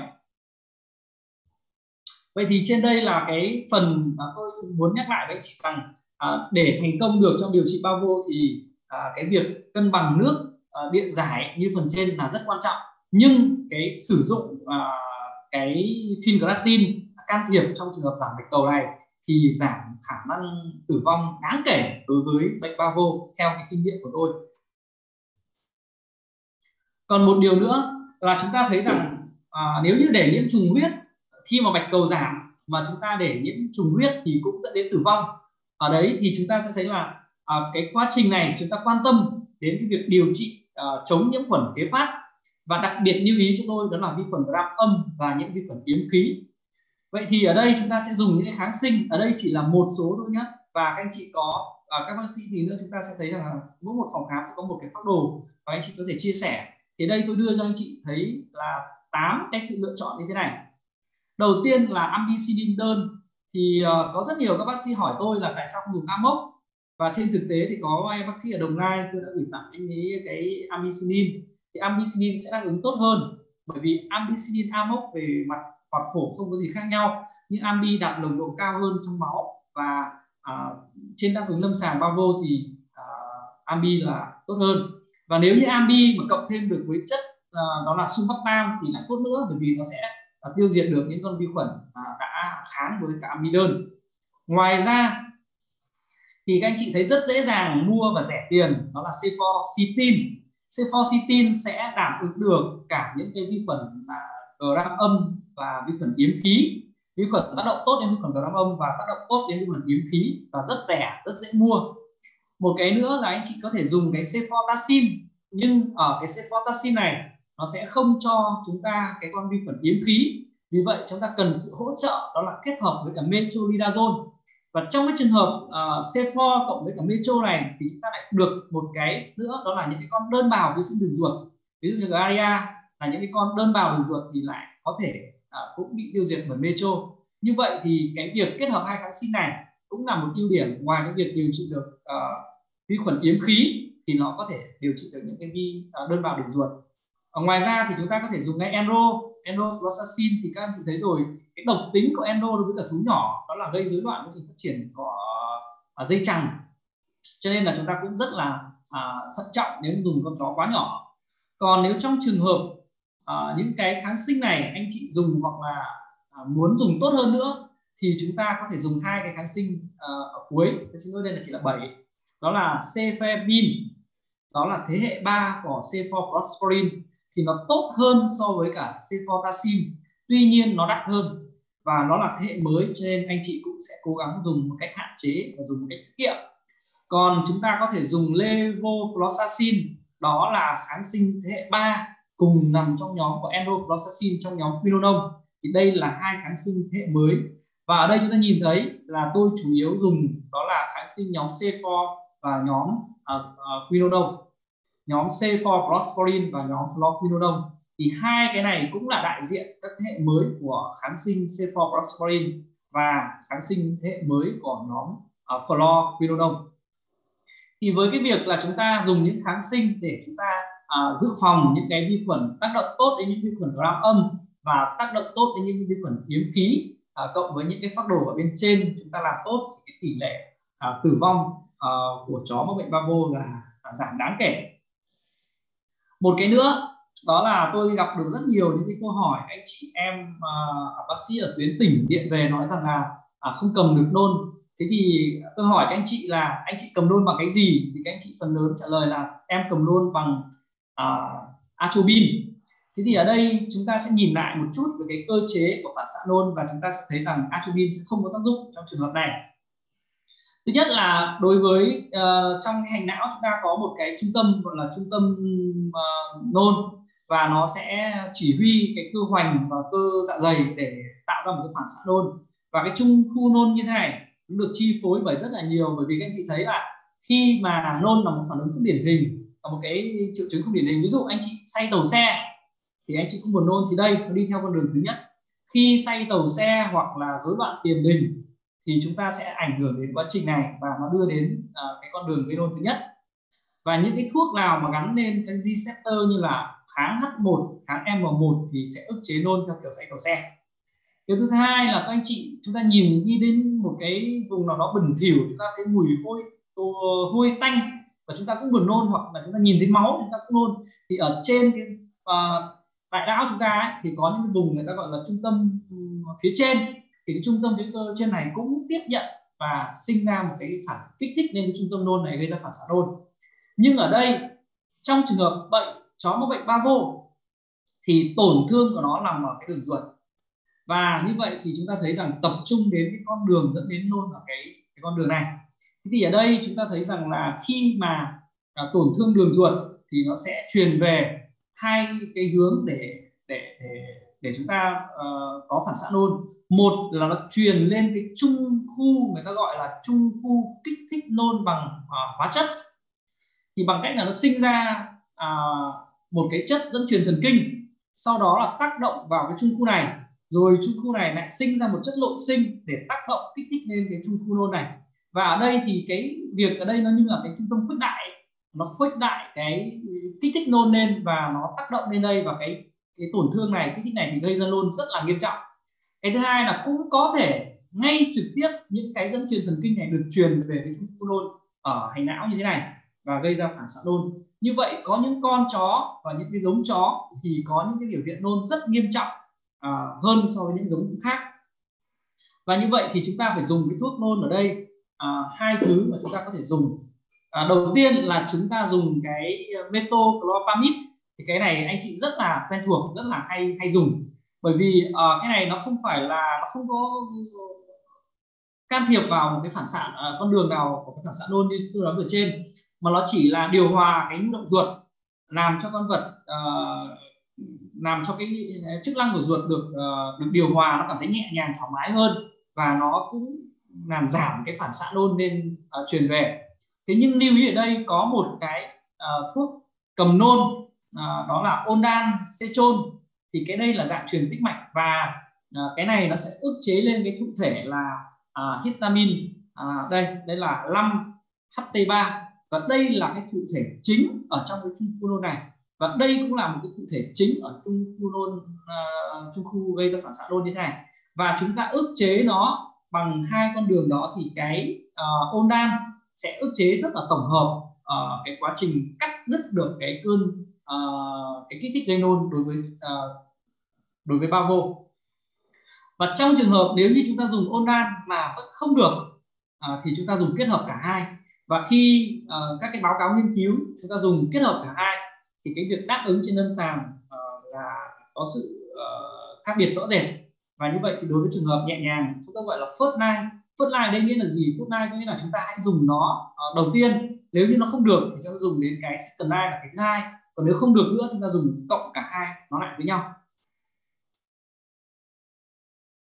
À, một cái nữa đó là cái việc uh, kiểm soát cái việc sốt. Thì sốt thì cũng không gặp nhiều nhưng mà có những con nó sốt rất là liên miên lai dai. Thì chúng ta dùng những cái uh, paracetamol ở dạng truyền tĩnh mạch hoặc là dạng hút hít cũng là có hiệu quả. Ở trong trường hợp nữa là chúng ta có thể dùng cái thuốc uh, uh, hạ sốt uh, hay bán ở bên um, lớn uh, tofedin này. Tuy nhiên là tofedin này cũng rất là đắt à, nó có dạng viên nữa. Thế nhưng mà tuy nhiên thì ở Việt Nam tôi không thấy có và cái này cũng có thể dùng tầm luôn à, xin lỗi là hạ sốt rất là tốt. À, thì đây là những cái thuốc chúng ta có thể dùng à, trong việc hạ sốt cho bao vô. Một cái nữa à, rất là mong đợi công ty Zoetis sẽ à, phân phối sớm về Việt Nam. À, đó là một cái chất người ta gọi là marovitan.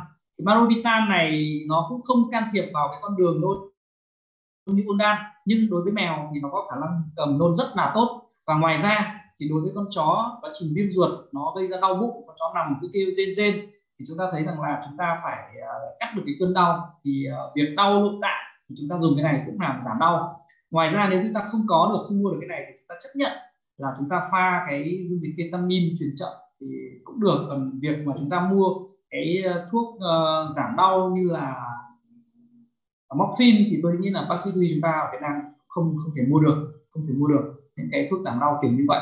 Và như vậy thì chúng ta phải dùng đến cái này. Nhưng mà tuy nhiên trên thị trường tôi thấy vẫn chưa có. À, sang một cái phần tiếp theo à, nữa đó là à, điều trị và chúng ta dùng những cái thuốc um, ức chế virus. Thế thì à, trong cái nhóm thuốc mà dùng để tác động trực tiếp vào quá trình ức chế không cho con virus nhân lên thì tôi cũng tham khảo một số bài báo báo cáo thì cũng nói là bài báo có nói rằng là có hiệu quả có những bài báo thì nói là chưa có hiệu quả. Thế tuy nhiên thì trên lâm sàng thì ờ, tôi thấy là có hai cái sản phẩm mà hoàn toàn chúng ta dùng được đó là cái Infovac và cái uh, interferon omega 3 thế thì đối với Infovac này anh chị sử dụng trong trường hợp sớm là chưa có biểu hiện dạng bạch cầu hoặc là trong đàn có một con có biểu hiện lâm sàng các con còn lại trong đàn chưa biểu hiện lâm sàng thì chúng ta dùng dự phòng. Thì cái biểu hiện này của nó khá là tốt cái biểu hiện này khá là tốt. Cái thứ hai nữa là đối với cái uh, cái này thì nó cũng rẻ thôi và chúng ta dùng một ml 10 kg thì trọng thì nó cũng rẻ thôi và chúng ta chỉ dùng được trong trường hợp mà uh, biểu hiện uh, bệnh giai đoạn sớm của bệnh. Cái thứ hai đó là cái interferon omega 3 thì cái này khá là đắt và cái này dùng cũng rất là uh, nó có hiệu quả trong những trường hợp là điều trị sớm. Đặc biệt đối với những con chó non uh, cái con chó bản thân nó đã là sai bé sau đó là nó lại mắc bệnh sớm ví dụ như là hai tháng tuổi nó khoảng tầm vài lạ thì chúng ta dùng cái này để làm giảm cái triệu chứng lâm sàng. Bởi vì là chúng ta dùng 2,5 trong một kg nếu như chúng dùng chó lớn thì chúng ta không có đủ tiền. Và nếu như con chó nhỏ thì tính ra một lần điều trị nó cũng không đáng bao nhiêu và nó cải thiện được các cái triệu chứng lâm sàng ở trên lâm sàng à, ngoài ra thì chúng ta cũng phải lưu ý đến cái việc là điều trị những cái uh, con ký trùng đồng nhiễm. Ví dụ như là thường là bao vô đến chúng ta thấy rằng là nhiễm chủ đề nhiễm run uh, sáng rất là nhiều. Thì cái việc là cộng với bao vô thì nó bị nôn nên là anh chị sẽ không đưa được thuốc theo đường uống. Thì chúng ta phải nghĩ đến đường khác đó là tiêm hoặc là nhỏ gáy. Thế thì nhỏ gáy thì chúng ta có Evolution hoặc tiêm chúng ta có Doramectin cũng có thể được. Ngoài ra thì còn có một cái nữa là chúng ta có thể uh, hỗ trợ phục hồi cái chức năng của đường ruột và có những nghiên cứu báo cáo rằng chúng ta hỗ trợ phục hồi được chức năng đường ruột càng sớm thì giảm cái thời gian nằm viện và tăng cái thời gian phục hồi. Thì chúng ta có những cái sản phẩm mà để bổ sung những cái thức ăn lên men dễ tiêu hóa hoặc là những cái sản phẩm mà bổ sung thêm những cái uh, vi sinh vật lợi khuẩn có đường tiêu hóa để chúng ta uh, cân bằng lại cái hệ vi sinh vật đường ruột cũng là một trong những cái biện pháp uh, cần để hỗ trợ trong điều trị bao gồm. Ngoài ra thì còn có rất là nhiều những cái phòng khám đang sử dụng kháng huyết thanh thì bản thân tôi chưa có trải nghiệm về cái này nhưng uh, có hai cái bài báo uh, người ta có báo cáo là cái việc là sử dụng uh, kháng huyết thanh uh, gây tối miễn dịch ở ngựa thì uh, cũng có uh, hiệu quả trong cái điều trị. Uh, đây là hai cái bài báo. Thì nếu các anh chị nào quan tâm thì các anh chị sẽ có thể là tham khảo. Tuy nhiên thì về mặt cá nhân tôi thì thứ nhất là nếu như chúng ta uh, dùng gây tối miễn dịch ở trên ngựa thì nó là khác loài và như vậy thì cái việc tinh chế cái kháng huyết thanh này lại là một con đường à, một cái vấn đề rất là khó. Ờ, còn ngược lại thì chúng ta lấy cái kháng thể cùng loài đó là kháng thể của những cái con à, chó đã khỏi bệnh để điều trị thì cái việc này chúng ta cũng không uh, có nghiệp vụ chúng ta không có kỹ thuật chúng ta phải đánh giá cái tay từ của nó và được các pha loãng. Chứ còn nếu như ta chỉ lấy khoảng 5 ml máu chúng ta chắc thanh chúng ta truyền thôi thì uh, chúng ta cũng không đánh giá được hiệu quả và chúng ta không biết được cái hàm lượng kháng thể chúng ta truyền vào là bao nhiêu. Cho nên là uh, cái này thì tôi không có trải nghiệm và chỉ mang tính chất giới thiệu các anh chị là có hai cái bài báo à, đã công bố và có hiệu quả nếu như dùng uh, kháng huyết thanh gây tối miễn dịch ở ngựa trong điều trị. À, về phần cuối cùng à, về phần cuối cùng là chúng ta sẽ phòng bệnh. Thế thì ở đây thì tôi nói với anh chị rằng là à, chúng ta thấy rằng ở đây à, à, tôi xin lỗi. À, vậy thì tổng kết ấy phần điều trị đã. À, chúng ta tổng kết ở cái phần điều trị. À, tổng kết ở cái phần điều trị thì chúng ta thấy rằng là cái thể ruột này à, nó có thể dẫn đến tử vong theo hai con đường. À, con đường thứ nhất là con đường à, mất nước mất chất điện giải à, dẫn đến tử vong. Con đường thứ hai là à, cái quá trình giảm bạch cầu làm cho giảm khả năng miễn dịch của cơ thể cộng với viêm ruột gây ra những cái uh, biến chứng như là uh, nhiễm trùng huyết uh, như là uh, hội chứng ờ, rối uh, loạn đông máu nội mạch hay hoặc là uh, hội chứng uh, viêm đáp ứng miễn dịch viêm toàn thân thì dẫn đến tử vong. Và trong cái điều trị thì chúng ta sẽ cố gắng để can thiệp vào uh, hai cái con đường này uh, làm giảm tỷ lệ tử vong. À, trong đó tôi giới thiệu với các anh chị có hai cái anh chị cần lưu ý. Một là cân bằng điện giải trong đó là điều trị dự phòng hoặc là cân bằng kali trong trường hợp bị hạ kali à, huyết và thứ hai đó là một cái công cụ hiệu quả trong điều trị bao vô làm giảm cái tỷ lệ tử vong đó là à, điều trị để giảm bạch cầu. Và một cái uh, nữa đó là um, điều trị bằng kháng sinh thì cũng là một trong những cái yếu tố à, góp phần làm giảm tỷ lệ tử vong à, trong bao vô. Một à, điều lưu ý nữa là cân bằng kali thì chúng ta sẽ không được dùng tuyệt đối không được dùng đối với những con như là bull phát và một số những chó mũi ngắn khác và rất à, thận trọng trong cái việc dùng à, đối với cái trường hợp cân bằng kali như thế này. Một cái điều uh, cuối cùng chúng ta nhắc đến cái việc phòng bệnh thì ngay cái việc là uh, sau khi uh, virus uh, bao vô gây bệnh thì chúng ta có rằng uh, sau đó uh, vài năm đã có những cái vaccine ra đời thì từ đó là can thiệp vào làm giảm tỷ lệ tử vong. Thì uh, mặc dù là virus biến chủng liên tục và ở Việt Nam hiện nay chúng ta đang có chủ yếu là lưu hành chủng C thế nhưng mà à, vẫn phải khẳng định rằng tiêm phòng vaccine là một biện pháp hiệu quả nhất à, để phòng bệnh. Và chỉ lưu ý với các anh chị rằng nếu như chúng ta tiêm vaccine mũi một thì cái yếu tố đó là sự can thiệp à, của kháng thể mẹ truyền là rất quan trọng. Vì chúng ta khi chúng ta tiêm cái mũi một à, chó ở cái mức độ là 6 đến 8 tuần tuổi thì ở đây chó vẫn được nhận một cái lượng kháng thể à, từ sữa mẹ từ mẹ truyền sang. Và như vậy thì cái kháng thể này sẽ trung hòa à, mất uh, những uh, trung hòa mất cái, cái vaccine. Cho nên nó có thể là không gây cái đáp ứng uh, miễn dịch uh, ngay lần đầu nếu như uh, vaccine bình thường. Một cái điều nữa là vệ sinh phòng bệnh môi trường cũng là rất quan trọng. Bởi vì có những anh chị thấy rằng là uh, có chủ chó uh, mang đến chúng ta thấy chó uh, đã tiêm phòng 3 mũi nhưng mà tỷ lệ mắc bệnh rất là cao. Thế thì uh, ở đây chúng ta nói rằng cái việc mà uh, trong cái môi trường cái mầm bệnh của nó ví dụ như là pet shop ví dụ như là phòng khám hoặc là nhà nuôi quá nhiều chó mật độ virus à, nó rất là cao thì chúng ta thấy cũng là yếu tố nguy cơ mặc dù đã được tiêm phòng. Thì cái việc vệ sinh môi trường thường xuyên ở những cái nơi có mật độ uh, chó uh, nhiều như vậy thì cũng rất là quan trọng. Và những cái thuốc sát trùng như huyết công omicide là những cái sản phẩm sát trùng rất là tốt. Và virus bao vô thì tồn tại lâu ở ngoài môi trường nhưng dễ dàng bị tiêu hủy bởi những cái chất sát trùng như thế này. À, một cái điều nữa là nâng cao sức đề kháng. Ví dụ như chúng ta thường xuyên tẩy run à, chăm sóc nuôi dưỡng tốt hoặc là phòng những cái bệnh viêm ruột khác thì cũng là một trong góp phần làm giảm cái yếu tố bị mắc bệnh à, bao vô ở chó. Đây là một số cái à, bài tham khảo. À, cảm ơn tất cả các anh chị à, đã dành thời gian à, lắng nghe cái bài chia sẻ của tôi. À, và sau đây thì nhường lại cái phần à, à, sân khấu cho bác sĩ Khánh. Sau đó chúng ta sẽ quay lại uh, gặp nhau ở phần giải đáp ở phần cuối chương trình. À, xin cảm ơn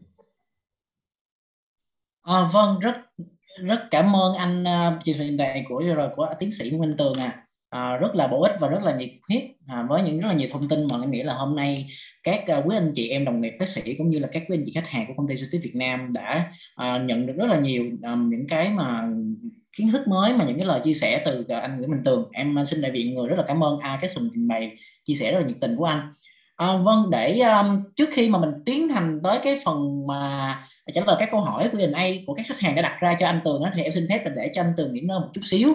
Và để trong thời gian chờ đợi đấy thì uh, em sẽ xin phép tiến hành luôn thực hiện cái chương trình mà công ty Sotis đã được đề xuất ngay từ đầu buổi đó là chương trình vòng quay may mắn à, để tìm xem ai là người sẽ trúng những cái giải thưởng mà từ công ty Jotis Việt Nam à, dành cho phía khách hàng. À, rất là cảm ơn quý anh chị đã dành thời gian ra để uh, chia sẻ để để uh, chia sẻ những ý kiến phản hồi đóng góp cho những cái tờ à, khảo sát của công ty Jotis Việt Nam. À, em xin phép là cái chương trình này nó sẽ uh, diễn ra theo hình thức là chọn người may mắn thông qua vòng quay nhé. Thì đây là đây là cái danh sách số điện thoại à, giống như là danh sách mà survey ờ, uh, hợp lệ mà em được nhận từ uh, phía bộ phận kỹ thuật. À, em sẽ bắt đầu tiến hành luôn. Thì chúng ta sẽ có 3 giải là bao gồm là giải nhất là một hộp vaccine Vanguard Plus 5L phòng được 6, 7 tác nhân gây bệnh. À, trong đó là có cả hai chủng Leptospira canicola và các Leptospira erythrohemorrhage và cái giải nhì sẽ là uh, chuột Logitech MM31331 là một cái con có thể khả năng là silent click nó sẽ ờ, không có tạo ra tiếng ồn khi mà quý khách hàng sử dụng. Và cái cuối cùng là cái bình nước lock and lock à, bình giữ nhiệt lock and lock à, có thể giữ nhiệt lên tới 24 giờ. À, vâng đây là cái danh sách mà em đã à, có trong tay và bắt em sẽ bắt đầu tiến hành quay cái giải đầu tiên là giải bình nước cho mọi người. À, mọi người để xem là hôm nay ai sẽ là người may mắn của công ty Jotis Việt Nam à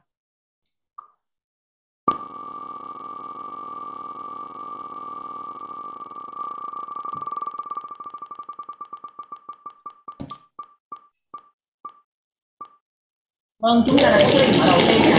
Còn anh chị có số điện thoại là đầu 036 và là 506 anh Em sẽ lưu lại và em sẽ à, gửi lại liên hệ mọi người sau nhé. Chúc mừng à, anh chị à, đuôi em nhắc lại một lần nữa chúc mừng anh chị có số điện thoại đuôi 506 đã trúng giải thưởng là một cái bình nước giữ nhiệt được công ty Zotis hợp tác cùng với lại Lock Lock sản xuất ạ. Tiếp theo là dạ, cũng là một cái bình nước nha mọi người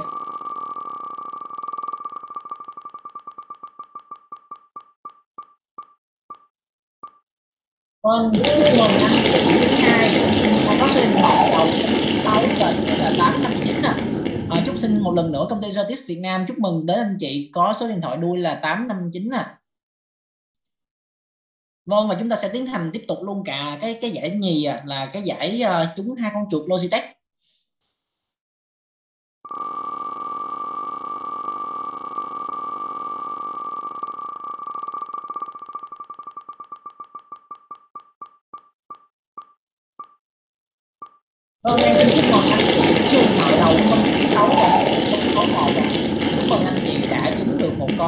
Logitech M331 Silent Click của công ty uh, Logitech ạ. À. Tất cả các thông tin của anh chị em đã đều đã lưu bên trong rồi cho nên là mọi, mọi người sẽ được liên hệ sau khi mà có danh sách nhé. Rất cảm ơn mọi người ngày hôm nay ạ. À.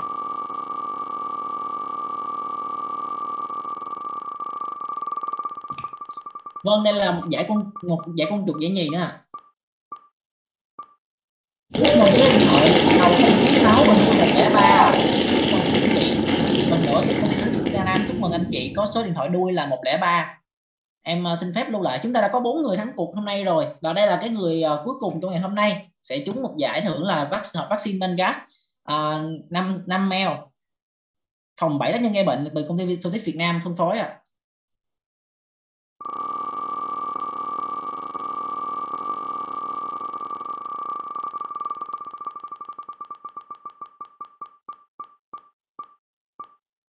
Vâng, em xin chúc mừng mọi người may mắn nhất ngày hôm nay.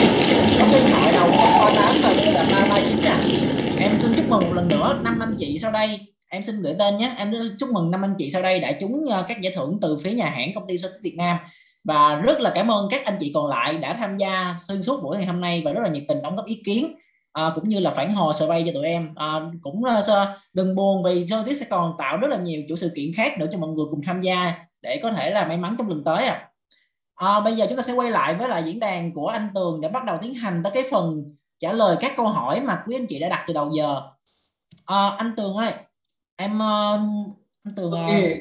dạ. Khánh Ok, à, bây giờ là chúng ta sẽ bắt đầu tiến hành trả lời một vài các câu hỏi. Hiện nay là em đang nhận được rất rất là nhiều câu hỏi quan tâm từ các uh, quý anh chị khách hàng của công ty Sotis Việt Nam dành cho anh Tường um, thật sự thì nếu như mà chúng ta hôm nay không đủ thời gian để trả lời hết những câu hỏi này á, thì có thể là sẽ nhờ anh Tường dành thêm nhiều thời gian nữa để trả lời những câu hỏi còn lại của các khách hàng. Cho nên là các anh chị uh, đừng lo lắng về cái vấn đề là mình sẽ không được trả lời câu hỏi nha.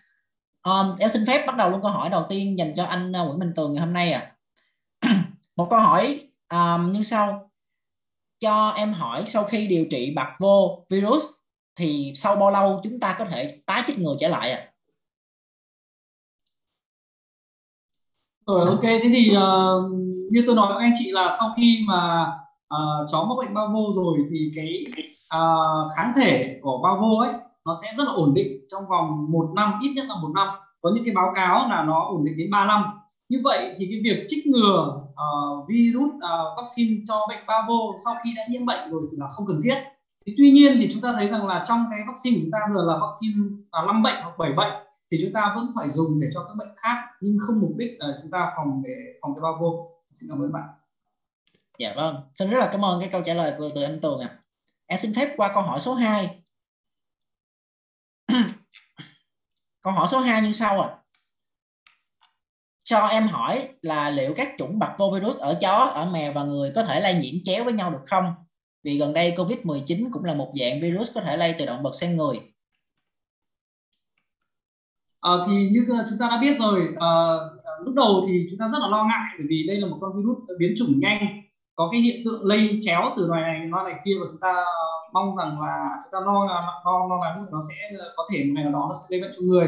Thế thì tuy nhiên thì uh, cái con virus gây bệnh của người uh, bao vô là gây bệnh ở da đấy là một chủng khác và không phải là uh, con bao vô gây bệnh ở trên chó và trên mèo.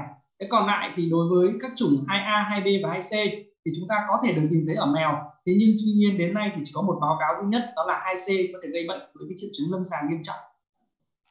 Rồi rất là cảm ơn câu hỏi câu trả lời từ anh Tường câu hỏi tiếp theo trong trường hợp chủ không đem chó đi truyền dịch được thì có thể cung cấp dịch bằng đường uống được hay không? Bao gồm nước và dinh dưỡng và dùng lợi liều nào à, loại nào và liều lượng như thế nào ạ? À? À, thế thì ờ, như ờ, tôi đã trình bày ở bên trên, đó là điều trị cầm nôn cũng là một trong những cái vấn đề rất là quan trọng trong điều trị bao vô. Vì bản thân cái đường tiêu hóa ờ, đang bị áp xét đang bị ờ, rối loạn rất là nghiêm trọng, nó tổn thương rất là trầm trọng, cho nên chúng ta hạn chế là đưa các cái dịch truyền hoặc là thức ăn hoặc là những cái thuốc uống theo đường uống. Nó sẽ có thể gây nôn và cái hiệu quả rất là thấp. Dạ rất là cảm ơn anh Tường. Câu hỏi tiếp theo là liệu việc tiêm phòng có giảm nguy cơ bệnh trở nặng hay không? À đúng rồi thế thì các bạn thấy rằng là bản thân không có một cái vaccine nào là cái vaccine có thể bảo hộ 100% thế tuy nhiên thì nếu như chó được chích ngừa vaccine với đầy đủ liệu trình thì cái việc điều trị uh, nó cũng sẽ uh, giảm cái tỷ lệ tử vong uh, rõ rệt. Dạ. Yeah. Um, câu hỏi tiếp theo, tôi muốn hỏi khi tiêm được 3 ngày, khi tiêm được vaccine 3 ngày thì dính bệnh thường không chữa được thì là tại sao? À, thế thì các anh chị thấy là nếu như sau khi tiêm vaccine mà nổ ra bệnh thì cũng rất là nguy hiểm bởi vì sao? Thứ nhất là ở đây chúng ta phải hiểu là khi chúng ta tiêm vaccine vào, có nghĩa là chúng ta đưa vào cơ thể nó là mầm bệnh và nếu như trong trường hợp đấy cơ thể nó đang ủ bệnh sẵn rồi, và như vậy thì cơ thể đang có kháng thể để chiến đấu ờ, đối với những virus mà gây bệnh ở thực địa, nhưng chúng ta lại đưa thêm một cái uh, chúng ta giống như là công cường độc chúng ta đưa thêm vaccine vào. Như vậy thì cái vaccine này sẽ trung hòa hết một phần cái kháng thể đang có để tiêu diệt mầm bệnh ở trong cơ thể. Vậy thì nó làm giảm cái khả năng bảo vệ cơ thể bằng vaccine à, bằng bằng kháng thể của cơ thể. Dạ vâng. À, nhắc thêm với các bạn nữa là dạ. đặc biệt là nếu như mà chó mà tiêm xong uh, chó nhỏ mà tiêm mũi lần đầu và bị nổ bệnh thì cái tỷ lệ tử vong là khá cao à, micro của anh Tường bị tắt rồi anh Tường có thể bật lại micro được không ạ? À? Ok anh có cần phải tắt đi bởi vì anh sợ nó nói nó vọng vào em không? À không sao không sao anh dạ. Okay. Vâng à, một câu hỏi tiếp theo có cách nào để chẩn đoán được CBV thể cơ tim sớm nhất hay không ạ? À? À, thì như lúc đầu tôi đã trình bày bởi vì bản thân là uh, chúng ta thấy rằng là đây là một cái thể dẫn đến tử vong rất là cao và uh, rất là ít những uh, người bác sĩ lâm sàng à, quan tâm đến việc chẩn đoán điều trị đến ngày nay thì tôi cũng à, phải nói rằng là không có nhiều cái kinh nghiệm trong điều trị này. Nếu trong trường hợp mà chó con à, bị à, mắc bệnh đến à, thì chúng ta vẫn can thiệp điều trị như bình thường. Nhưng chúng ta có thể là có một cái dự đoán trước cái tiên lượng trước là đối với cái à, lứa tuổi chó bé như này thì có thể là dẫn đến tử vong đột ngột do cái thể tim. Dạ vâng. Um, có một câu hỏi như thế này cho em hỏi chủng CBV2C mới anh có chia sẻ ở chó có thể nhiễm trên mèo vậy triệu chứng trên mèo có nghiêm trọng hơn FPV bình thường hay không và tỷ lệ chết có cao không ạ? À? À, thì tôi nói với bạn là ngay à, đến thời điểm hiện tại thì chúng ta đang có mỗi một báo cáo duy nhất à, là báo cáo về cái việc là virus à, gây bệnh à, CVV à, 2C gây bệnh cho mèo à, và bản thân của tôi thì cũng đã trải nghiệm là khi con mèo đến à, mắc bệnh và test thì cũng giảm bạch cầu xuống và điều trị uh, dùng que test thì dương tính với cả Pavo như vậy thì cái việc là uh, nếu như là chủng 2C thì gây bệnh cũng triệu chứng uh, như báo cáo là rất nghiêm trọng và bản thân tôi thì đã thất bại trong việc điều trị uh, cái con virus uh, trên mèo virus 2C tôi tôi không thể khẳng định là 2C nhưng uh, test dương tính với cái que test là của vô và cũng rất là nghiêm trọng. Dạ vâng. Um, một câu hỏi nữa là hiện tại test bạch vô virus trên thị trường là test kháng nguyên hay là test kháng thể à? À, thì chúng ta có sự phân biệt thế này. À, đôi khi chúng ta dùng uh, hai loại test, chúng ta dùng test kháng nguyên và test kháng thể để phát hiện mầm bệnh. Thì tuy nhiên nếu như cái test kháng thể chúng ta chỉ dùng cho trường hợp những cái bệnh mà không có vaccine chưa từng trích ngừa vaccine ví dụ như covid cái giai đoạn đầu thì chúng ta có cái test kháng thể bởi vì chưa ai là người mà À, được dùng vaccine. Như vậy thì trong cơ thể của chúng ta mà có sinh ra kháng thể thì cũng có thể khẳng định là người đấy đang uh, mang bệnh mang trùng thế tuy nhiên thì cái test kháng thể đấy người ta sẽ có hai cái đó là phải test à, uh, IgM và IgG bởi vì cái quá trình đáp ứng miễn dịch năm lớp thì cái IgM sẽ phát triển ở giai đoạn đầu sau đó là giảm xuống và IgG sẽ phát triển ở giai đoạn sau. Như vậy thì đối với những bệnh uh, người ta sẽ có thể dùng test kháng nguyên kháng thể để uh, phát hiện mầm bệnh. Tuy nhiên đối với bao vô phần lớn được uh, tiêm vaccine rồi cho nên là người ta sẽ không dùng cái test kháng nguyên à, tôi xin nói không dùng test kháng thể để phát hiện uh, bệnh và trên thị trường có cả test kháng uh, thể đối với bệnh bao vô của hãng Bio bán nhưng ở đây người ta dùng để đánh giá khả năng đáp ứng dịch sau khi tiêm vaccine. Dạ vâng. Um, thầy ơi cho em hỏi thể tiêm chỉ gặp trên chó dưới 6 tuần tuổi hoặc chó mẹ mang thai hay có mắc trên chó trưởng thành không ạ? À? Hoàn toàn không mắc với cái chó lớn, hoàn toàn không mắc ở chó lớn. À dạ. À, một câu hỏi là thầy hướng dẫn cách đánh giá mức độ mất nước và liệu pháp truyền dịch hiệu quả cho chó bạc vô được không ạ? À? À, cái này thì tôi nghĩ rằng là tất cả các bác sĩ có thể là đây là một uh, em sinh viên thì các em vào trong uh, phòng khám anh chị sẽ hướng dẫn đây là cái bài học khá là cơ bản ban đầu của việc điều trị bác sĩ theo dõi điều trị dạ. từ cái kỹ thuật uh, beo da đánh giá độ mất nước thì đây là cái kỹ thuật rất là đơn, đơn giản. Em không lo nếu như bạn đang là sinh viên. Dạ vâng. Um, một câu hỏi như sau. Cho em hỏi là quy trình tiêm vaccine của Zoetis cho chó con dưới một năm tuổi như thế nào thì đảm bảo được quy trình phòng bệnh tốt nhất? Cái này thì chắc anh Khánh sẽ dành hơn đúng không? à dạ vâng. Cái này chắc là em xin phép em ờ, thay mặt thầy em trả lời. À, tại vì à, em là đại diện từ bên nhà hãng của Certis Việt Nam. Thì hiện nay um, cái quy trình mà bên Zoetis Việt Nam đang khuyến cáo là có thể chích cho chó con ngay từ 6 tuần tuổi đó là nhờ vào cái công nghệ kép uh, từ uh, nồng độ cao và nuôi cấy ngắn cũng như là nuôi cấy từ uh, tế bào chó. Cho nên là mình có thể sử dụng ngay từ khi mà chó 6 tuần tuổi và mình sẽ tiêm liên tục 3 mũi trong năm đầu tiên cách nhau mỗi mũi cách nhau khoảng 3 tuần để mà mình đạt được cái miễn dịch là tốt nhất cao nhất. Thì ở đây là cái phần mà em có thể trình bày trong cái buổi mà uh, họp mặt lần trước uh, giữa em với lại quý khách hàng uh, của công ty Zoetis Việt Nam rồi cho nên là xin nhắc lại một lần nữa là chúng ta có thể sử dụng 3 mũi uh, cách nhau 3 tuần ngay từ khi 6 tuần tuổi. À, cụ thể là từ 3 6 tuần 9 tuần và 12 12 tuần tuổi trong năm đầu tiên để mang lại cái và quy trình phòng bệnh tốt nhất cho con chó cưng nhà câu hỏi số 2 à, anh ơi anh anh một chút. Uh, à, có thể là cái thời lượng chương trình của chúng ta thì không không thể trả lời hết được câu hỏi ấy. Thì dạ. em muốn là sẽ có thể lướt đi và chọn đọc một số cái câu hỏi mà nhiều bác sĩ quan tâm hoặc là những câu hỏi là à, nó sẽ có cái sự thảo luận cao để chúng ta có thể cùng thảo luận. Dạ vâng dạ vâng em em sẽ cố gắng uh, lướt qua. Um, câu hỏi thứ hai là có nên sử dụng kháng viêm cọt glucocorticoid cho chó đang nhiễm CPV không ạ? À? à thế thì cái câu hỏi này của bạn rất là tuyệt vời. Bởi vì là sao? Bởi vì chúng ta thấy rằng là à, chúng ta thấy là bệnh nhân nếu như kháng viêm à, corticoid đấy thì cái việc ngoài tác dụng kháng viêm thì nó làm giảm miễn dịch. À, và ức chế miễn dịch thế nhưng mà chúng ta vẫn đang thấy là cái phác đồ mà bộ y tế hướng dẫn tất cả các bệnh nhân điều trị covid cũng như uh, có nhiều tranh cãi nhưng hầu hết các báo cáo trên thế giới đều khuyến cáo là dùng corticoid trong điều trị bệnh nhân covid. Thế thì trong trường hợp này hỏi rằng có hay không uh, điều trị cái bảo hộ? Thế thì tôi nói với bạn là nếu như chúng ta dùng corticoid để điều trị bệnh truyền nhiễm nó là con dao hai lưỡi bởi vì nếu như chúng ta điều trị không đúng thời điểm thì nó sẽ làm ức chế miễn dịch và làm cho cái quá trình diễn tiến của bệnh lý trầm trọng hơn. Thế tuy nhiên thì các bạn thấy rằng là cái việc ở đây tôi không đề cập tới nhưng ở Mavo nó cũng đã có ở những cái bài báo nghiên cứu đó là gì? Khi mà cơ thể của chúng ta bị tổn thương bởi cái con virus nó gây ra cũng là một chiều. Nhưng khi cơ thể đáp ứng miễn dịch một cách quá mức thì cũng cái việc đáp ứng quá mức đấy cũng lại gây ra tổn thương là bão cytokine.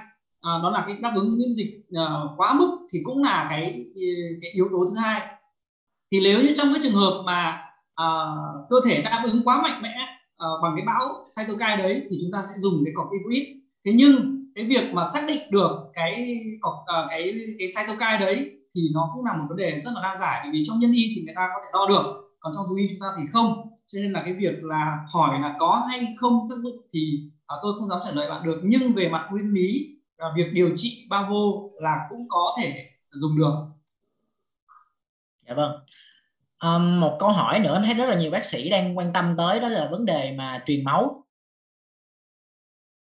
thì uh, em xin tổng hợp là các câu hỏi như sau là khách hàng đang muốn hỏi là uh, việc lấy máu từ một cái con khỏi bệnh uh, sau khi uh, khỏi bệnh khoảng chừng 2 tuần thì uh, truyền cho cái con đang bị bệnh thì cái khả năng mà điều trị cứu sống được có cao không ạ?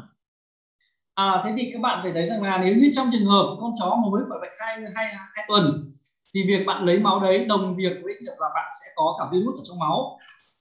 Đồng nghĩa với việc là bạn đưa cái kháng thể vào bên trong cơ thể có thể là sau 15 ngày thì đã sinh ra miễn dịch rồi.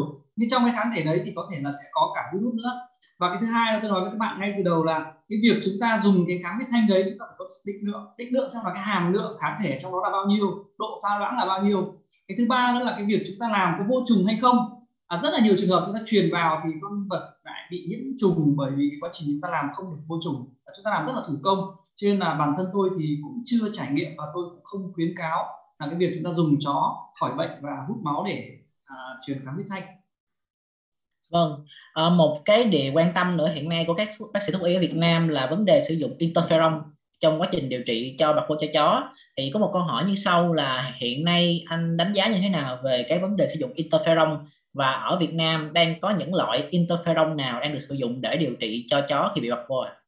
À, thế thì ờ, thưa với các bạn là chúng ta thấy rằng là interferon thì nó chỉ là một cái cytokine để mà sinh ra kích thích cái quá trình đáp ứng miễn dịch của cơ thể thôi cho nên là đối với cái uh, interferon như là omega 3 hay là gamma hay là có cả những người dùng cái interferon của người thế thì tôi sẽ ờ, về mặt cá nhân tôi thì nếu như dùng cái interferon của người hoặc là những cái loại interferon khác thì uh, tôi cũng không không khảo sát hết nhưng mà uh, một số interferon tôi dùng thì không có hiệu quả. Ở đây thì tôi thấy là đánh giá được cái hiệu quả của interferon omega 3 do hãng Vivac sản xuất mặc dù nó hơi là đắt. Thế nhưng cũng không phải là cái việc như là tôi nói với anh chị trong điều trị nếu như chúng ta làm tốt cái phần bên trên chúng ta làm tốt tất cả các phần điều trị trên thì cái việc điều trị uh, dưới chỉ là là là hỗ trợ thôi và không không cần thiết thế trong trường hợp có điều kiện uh, vì con chó con cái tỷ lệ tiên lượng là xấu và chủ rất là muốn mong muốn là chúng ta sẽ làm mọi cách có thể cứu được thì các bạn sẽ dùng cái interferon omega 3 uh, ờ, của Vivac là có hiệu quả nhưng nó chỉ làm giảm cái triệu chứng lâm sàng và có hiệu quả khi ta dùng sớm Dạ vâng. Um, một câu hỏi nữa là với những đặc điểm căn nguyên như bác tiến sĩ đã đề cập thì có thể cho biết loại thuốc khử trùng nào hữu hiệu trong việc tiêu diệt parvovirus ngoài môi trường được không ạ?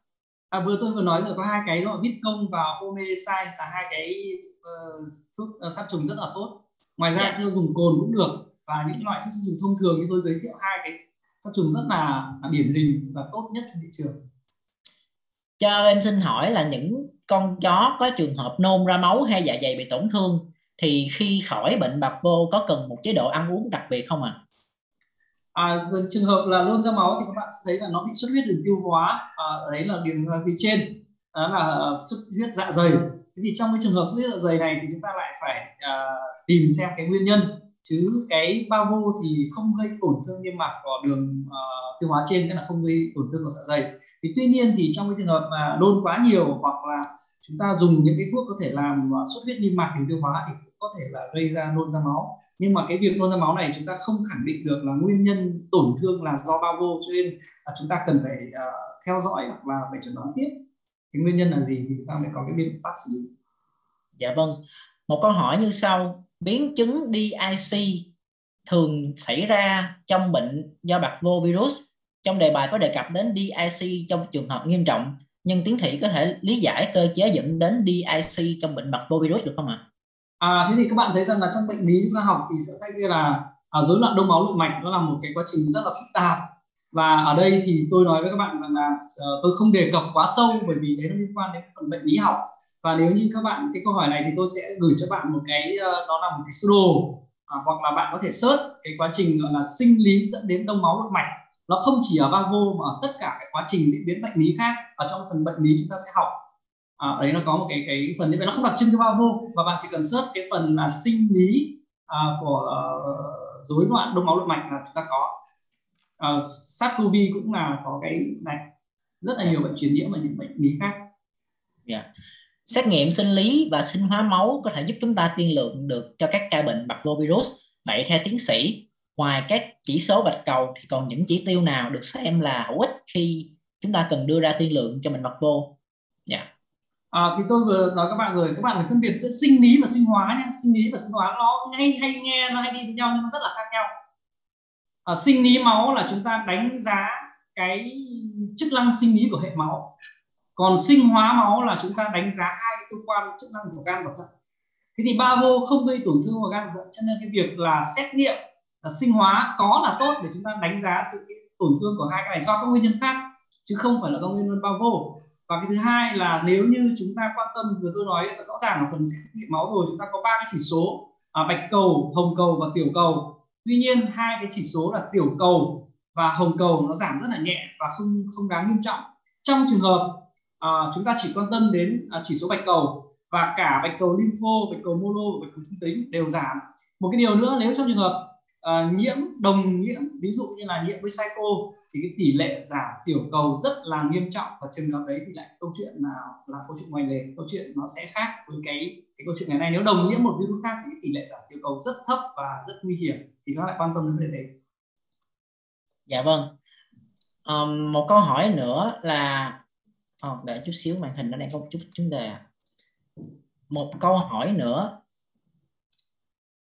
Tỷ lệ bảo hộ khi tiêm vaccine của Zoetis cho bệnh bạch virus là bao nhiêu phần trăm? Câu số 2 là khi mua chó về được tiêm một loại vaccine khác em muốn tiêm một mũi của Zoetis nữa thì có làm sao không ạ? À? Nó có xảy ra những vấn đề à, những kháng nguyên bên trong các vaccine không ạ? À? Rồi ok thế thì cái việc là bảo hộ bao nhiêu phần trăm thì xin uh, để hãng trả lời các anh chị sau. Thế còn thứ hai là nếu như trong trường hợp chúng ta tiêm vaccine hai loại khác nhau thì uh, có được hay không thì tôi khẳng định anh chị là được bởi vì hiện nay chúng ta có uh, phần lớn là các công ty uh, có công nghệ cũng uh, chủ yếu là hai cái công nghệ chính là uh, vaccine nhược độc và vaccine tái tổ hợp thì uh, chúng ta có thể là thấy rằng là chúng ta có thể kết hợp hai cái vaccine này. Nếu như chúng ta không có uh, tìm được uh, cái vaccine mà cùng hãng thì ta dùng hoàn toàn được. Dạ vâng. Um, em xin phép trả lời cái anh chị câu hỏi về cái vấn đề mà tiêm cái uh, nồng độ nồng độ bảo hộ tỷ lệ bảo hộ khi mà tiêm các loại các mũi như thế nào á. Là lần trước khi mà Certis tổ chức uh, thảo thảo cũng đã đề cập tới thông tin này là sau khi mà quý anh chị sự là nó sẽ rất là khác biệt nhau tại vì nó sẽ tùy vào cái tính uh, hấp gọi là tính uh, đáp ứng miễn dịch của từng cái cá thể chó khác nhau tuy nhiên sau khi mà Zotis làm một cái uh, thí nghiệm chung á thì uh, cũng ghi nhận được một con số là sau khi mà tiêm mũi một thì nó sẽ bảo hộ được khoảng chừng 52 phần trăm và sau khi sau mũi 2 là 88 phần trăm và cuối cùng là mũi 3 là từ đạt từ 95 tới 100 phần trăm tùy thuộc vào cái uh, giống chó cũng như là cái uh, cơ địa của từng con chó khác biệt nhau ạ. À um, và một câu hỏi à, một câu hỏi nữa là có một số người nói chó sau 3 tới 5 tuổi sẽ không cần tiêm vaccine bệnh nữa như vậy có đúng không ạ? À? À, cái câu chuyện này thì chúng ta thấy rằng là chỉ có ba vô là sẽ không gặp ở những cái con uh, uh, mắc bệnh trên 15 tuổi uh, có những cái báo cáo hiện nay thì có có những chủng mới như là uh, chủng 2C thì vẫn được tìm thấy ở những con chó trên 15 tuổi thì rất ít và như vậy thì đối với những bệnh khác như adeno thì các bạn thấy rằng càng con chó càng già thì nguy cơ uh, nhiễm viêm gan do adeno lại càng cao cho nên là trong trường hợp này thì một năm nên tiêm nhắc lại là hoàn toàn uh, cần thiết. Và những bệnh như là care cũng vậy nó không có cái sự miễn dịch trong một giai đoạn nào tuổi nào cả. Dạ vâng. Đối với chó cái sinh sản có cần tiêm vaccine phòng bệnh trước khi giao phối được không ạ? À? tác dụng của vaccine có truyền qua nhau thai không ạ à, bác sĩ? À, thế thì các bạn thấy rằng là đối với con chó chuyển biến gen giống thì người ta uh, có uh, tiêm vaccine để nhằm cho đáp ứng miễn dịch tốt trong giai đoạn chó nuôi con và như vậy thì à, đối với virus thì có thể là sẽ truyền qua uh, chủ yếu là qua phân. Thế nhưng mà trong trường hợp chúng ta tiêm trước cái giai đoạn uh, lên giống khoảng tầm 15 ngày gì đó thì chúng ta sẽ thấy rằng là không có nguy cơ để ảnh hưởng đến thai trong quá trình thực mang thai. Đúng không nhỉ Khánh nhỉ? Sẽ tiêm cho chó trước khi lên giống 15 ngày không? Dạ dạ thật ra là bên bên bên Zoetis là bên em là chị không có cái điều chỉnh khuyến cáo dành cho thú uh, trước khi um, uh, mang thai nhưng mà một số tổ chức uh, họ cũng áp dụng cái phương hình thức đấy có nghĩa là sẽ tiêm cho chó uh, gọi là một số chạy giống uh, họ cũng sẽ tiêm cho chó trước khi mà mang thai để cho nó có một cái gọi là kháng thể mẹ từ mà mẹ truyền sang con để mà nó tôi thấy rằng là uh, sau khi uh, đi một số trang trại thì họ đều có cái việc là hai cái quy trình phòng. Một là tiêm vaccine trước khi lên giống và cái thứ hai là tẩy run thì ờ, tôi nói với anh chị có một người hỏi mấy anh chị hỏi là à, à, việc tẩy run. Tẩy run thì chúng ta dùng cái loại tẩy run trong cái giai đoạn thai kỳ 3 là 45 ngày tuổi một số tẩy run rất là an toàn. Nên là tôi thấy cái quy trình của các trại thì cũng có tiêm vaccine trước khi lên giống và tẩy run trong giai đoạn thai kỳ cuối. Dạ. Yeah bác sĩ cho hỏi là trong thời gian điều trị bạch vô nên cho ăn đồ ăn dễ tiêu hay là không nên cho ăn gì luôn thì nó sẽ tốt hơn?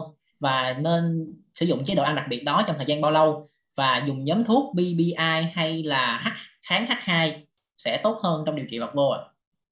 Ờ, cái câu hỏi này tôi chưa rõ bạn đang hỏi cái phần đầu tiên tôi trả lời cái ý thứ nhất là sẽ cho nếu như giai đoạn tập ăn sớm ở đây đề cập đến là giai đoạn con chó đã phục hồi rồi có nghĩa là không còn triệu chứng lâm sàng có là không còn nôn không còn tiêu chảy và con chó đã bắt đầu liếm láp bắt đầu uống nước rồi thì chúng ta mới tập ăn. Và đây là giai đoạn mà đang hồi phục cái đường tiêu hóa. Và như vậy thức ăn ở đây thì chúng ta sẽ lựa chọn những thức ăn dễ tiêu những thức ăn mà có thể khả năng uh, kích thích cái sự như là lên men nó đã có cái thức ăn loại chế loại đặc biệt để hồi phục cái chức năng của đường tiêu hóa đó thì chúng ta dùng cái đó. Nhưng mà cái bạn đang hỏi cái gì nhỉ? Là hai cái là nên sử dụng nhóm thuốc BBI hay là nhóm kháng histamine H2 sẽ tốt hơn trong điều trị bạc vô ạ? À, đấy là bạn muốn là giảm ức chế tiết dịch đúng không ạ? À, giảm ức chế tiết dịch để cho cùng với cả cầm nôn đúng không ạ? Thì các bạn sẽ dùng cái uh, for uh, gì nhỉ? Cái, cái pha famotidine gì ạ? Bạn đang muốn là giảm tiết dịch đấy đúng không ạ? thì cái famotidine đấy cũng được nếu trong trường hợp mà bạn muốn là giảm cái tích dịch ở đường tiêu hóa dạ vâng còn kháng H2 là nó làm cho ức chế cái receptor vitamin 2 thì nó sẽ giảm sinh hơi dạ vâng ạ à. Khi bạc virus gây ra ở hệ tim mạch thì biểu hiện nó như thế nào để mình can thiệp uh, có thể là sớm can thiệp và xử lý à thuốc hỗ trợ là sao? tim đúng không? Tim đúng không? Dạ đúng rồi tim mạch hệ tim mạch. chúng ta không can thiệp gì cả vì nó, nó đột ngột nó có thể tử vong đột ngột và có thể là diễn biến. Chúng ta không không không không chẩn đoán và điều trị can thiệp được. Dạ vâng.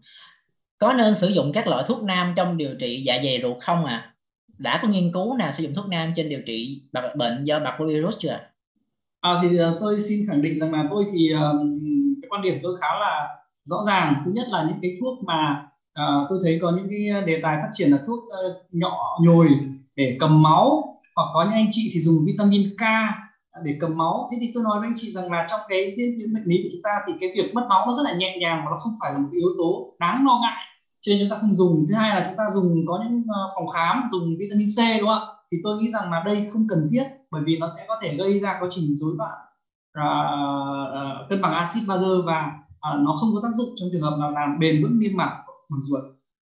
Dạ vâng. Một câu hỏi là vì virus bạc vô virus gây ra tình trạng là đi tệ đi vệ sinh ra máu cho nên là việc điều trị sử dụng thêm cầm máu các thuốc cầm máu như là tranexamic acid hoặc là Đó, tôi, tôi vừa nói là không không cần thiết ạ dạ, không cần thiết dạ.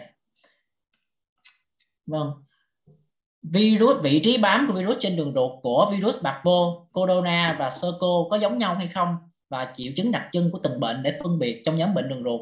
Trong trường hợp mà mình hạn chế dùng test hoặc là các xét nghiệm phân biệt khác à, Yeah. Dạ. à cái điều này thì phải nói là khó các bạn nhé. Bởi vì là mặc dù chúng ta thấy là có những bài nghiên cứu so sánh cái vị trí tấn công của cái con virus rota virus và bao virus ở những điểm khác nhau. Nhưng mà về cái việc mà bạn muốn là nhìn thấy thành phần của phân, ngửi mùi của phân mà chúng ta có thể phân biệt được con virus nào hay không thì tôi nói cái điều đó là điều không thể. Bởi vì bản thân chúng ta nhiều công nghệ chúng ta chưa chuẩn đoán phân biệt được thì không thể nào một người có thể lăng mẹ, có thể làm được điều đó. Cái phạm vi, cái phạm trù khác nhau rất ít để chúng ta có thể phân biệt được. Câu hỏi là nếu như à, mình tiêm trễ vào tuần thứ 8 hoặc tuần thứ 12 thì nó có ảnh hưởng gì đến uh, con chó không ạ?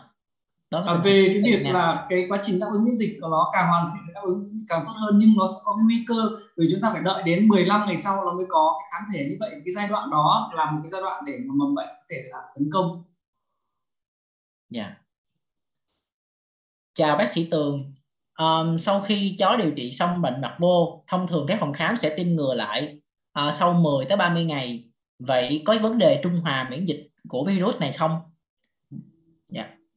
À, thì không sao các bạn thấy rằng là nếu như sau khi mà chó thì vô xong người ta vẫn tiếp tục tiêm lại để phòng các bệnh khác thì trong cái trường hợp đấy thì uh, cái virus đấy có thể sẽ bị một phần trung hòa với kháng thể nhưng mà khi mà chó sau khi bị vô thì cái nồng độ kháng thể tôi nghĩ rằng là nó rất cao giống như chúng ta gây tối miễn dịch thì nó sẽ hoàn toàn không ảnh dạ dạ vâng dạ quý anh chị bác sĩ ờ, khách hàng ơi là hiện nay là cái thời gian của chúng ta cũng đang gần hết cho nên là em chỉ xin phép là mình sẽ chỉ dành thêm 5 phút nữa để ờ, trả lời vài câu hỏi cùng với lại ờ, tiến sĩ Minh Tường thôi nhé. Còn các câu hỏi khác thì em sẽ gửi lại cho anh Tường sau để anh Tường có thể là trả lời cho mọi người sau trong chương trình này. Dạ.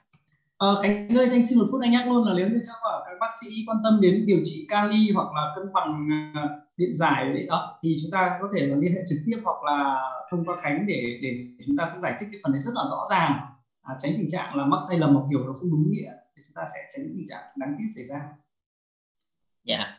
Um, một câu hỏi là hiện nay có cái cách nào để test được hiệu giá kháng thể của những con chó bị bạch vô không ạ? À? À, chúng ta dùng ELISA đó, đấy là chúng ta phải mang đến những phòng thí nghiệm người ta có điều kiện người ta làm cái cái cái ELISA hoặc là phản ứng kết đồng cầu HI HA những cái phản ứng những cái xét nghiệm để đánh giá được cái uh, title của nó thì chúng ta phải mang đến những cái trung tâm xét nghiệm lớn. Dạ vâng. Um, tiến sĩ có đề cập đến hệ miễn dịch tại chỗ. Vậy tiến sĩ đánh giá như thế nào về việc dùng probiotic trong điều trị bệnh bạch vô virus thể đường ruột? Dạ. À, thì tôi tôi vừa vừa nói các bạn rồi à cái probiotic đấy nó rất là cần thiết trong giai đoạn uh, phục hồi chức năng của ruột giai đoạn sau khi điều trị à, chúng ta có thể là phục hồi lại còn lại thì cái miễn dịch tại chỗ ở đây nó là cái đáp ứng khi mà cơ thể uh, cái viêm ruột nó xảy ra và nó đáp ứng bởi vì chúng ta thấy là tất cả cái uh, hệ miễn dịch người ta đều đắn uh, à, người ta nó giống như là, là, là đồn biên phòng người ta đặt ở cả cơ quan đều có những cái tế bào miễn dịch nằm ở đấy và cái đáp ứng miễn dịch ở tại chỗ cũng là một trong những cái đáp ứng miễn dịch rất là quan trọng uh, để mà tiêu diệt mầm bệnh. Dạ vâng.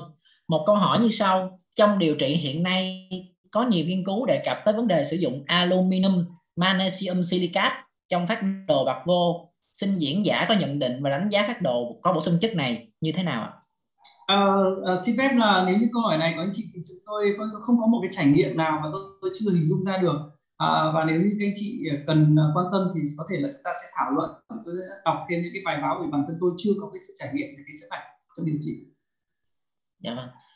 Um, bác sĩ hãy cho biết kinh nghiệm khi mà chó mắc bệnh bạc vô virus cùng với lại ký sinh trùng máu ạ. À. à, thế thì à, các anh chị thấy rằng là nếu như trong trường hợp uh, mắc một bệnh nào đó nó làm suy giảm miễn dịch thì cái nguy cơ có thể là gặp những cái uh, bệnh tiếp theo thế thì ở đây uh, trong trường hợp tôi cũng uh, gặp một trường hợp uh, anh chị thấy là bị bao vô và bị cả ký trùng máu thế thì trong cái trường hợp này ký trùng máu thì nó không cấp tính và bao vô cấp tính như vậy thì để điều trị thì ta sẽ phải vẫn ưu tiên để điều trị bao vô như bình thường. Cái thứ hai là cái việc là điều trị nhiễm trùng máu thì chúng ta cũng không có cái gì khác ngoài hai cái việc là một là dùng kháng sinh là doxycycline. Cái thứ hai là chúng ta phải truyền máu nếu trong trường hợp mà cái công thức máu rất xấu. Như vậy thì chúng ta sẽ phải kết hợp cả hai. Nếu như cần thiết thì phải truyền máu và kết hợp điều trị kháng sinh để điều trị ký trùng máu thì chúng ta vẫn phải kết hợp cả hai. Dạ vâng trong bài giảng của tiến sĩ có thấy đề cập tới vấn đề sử dụng chó sốt thì sử dụng paracetamol. Um, nhưng theo em biết thì paracetamol là một cái thuốc có thể gây độc được trên chó. Vậy nếu như mình sử dụng paracetamol thì chúng ta có cần lưu ý gì không? Và mình à, nên sử dụng như thế nào? Dạ. Uh, paracetamol thì rất độc đối với mèo nhưng không độc hoặc là tương đối độc với những loài khác.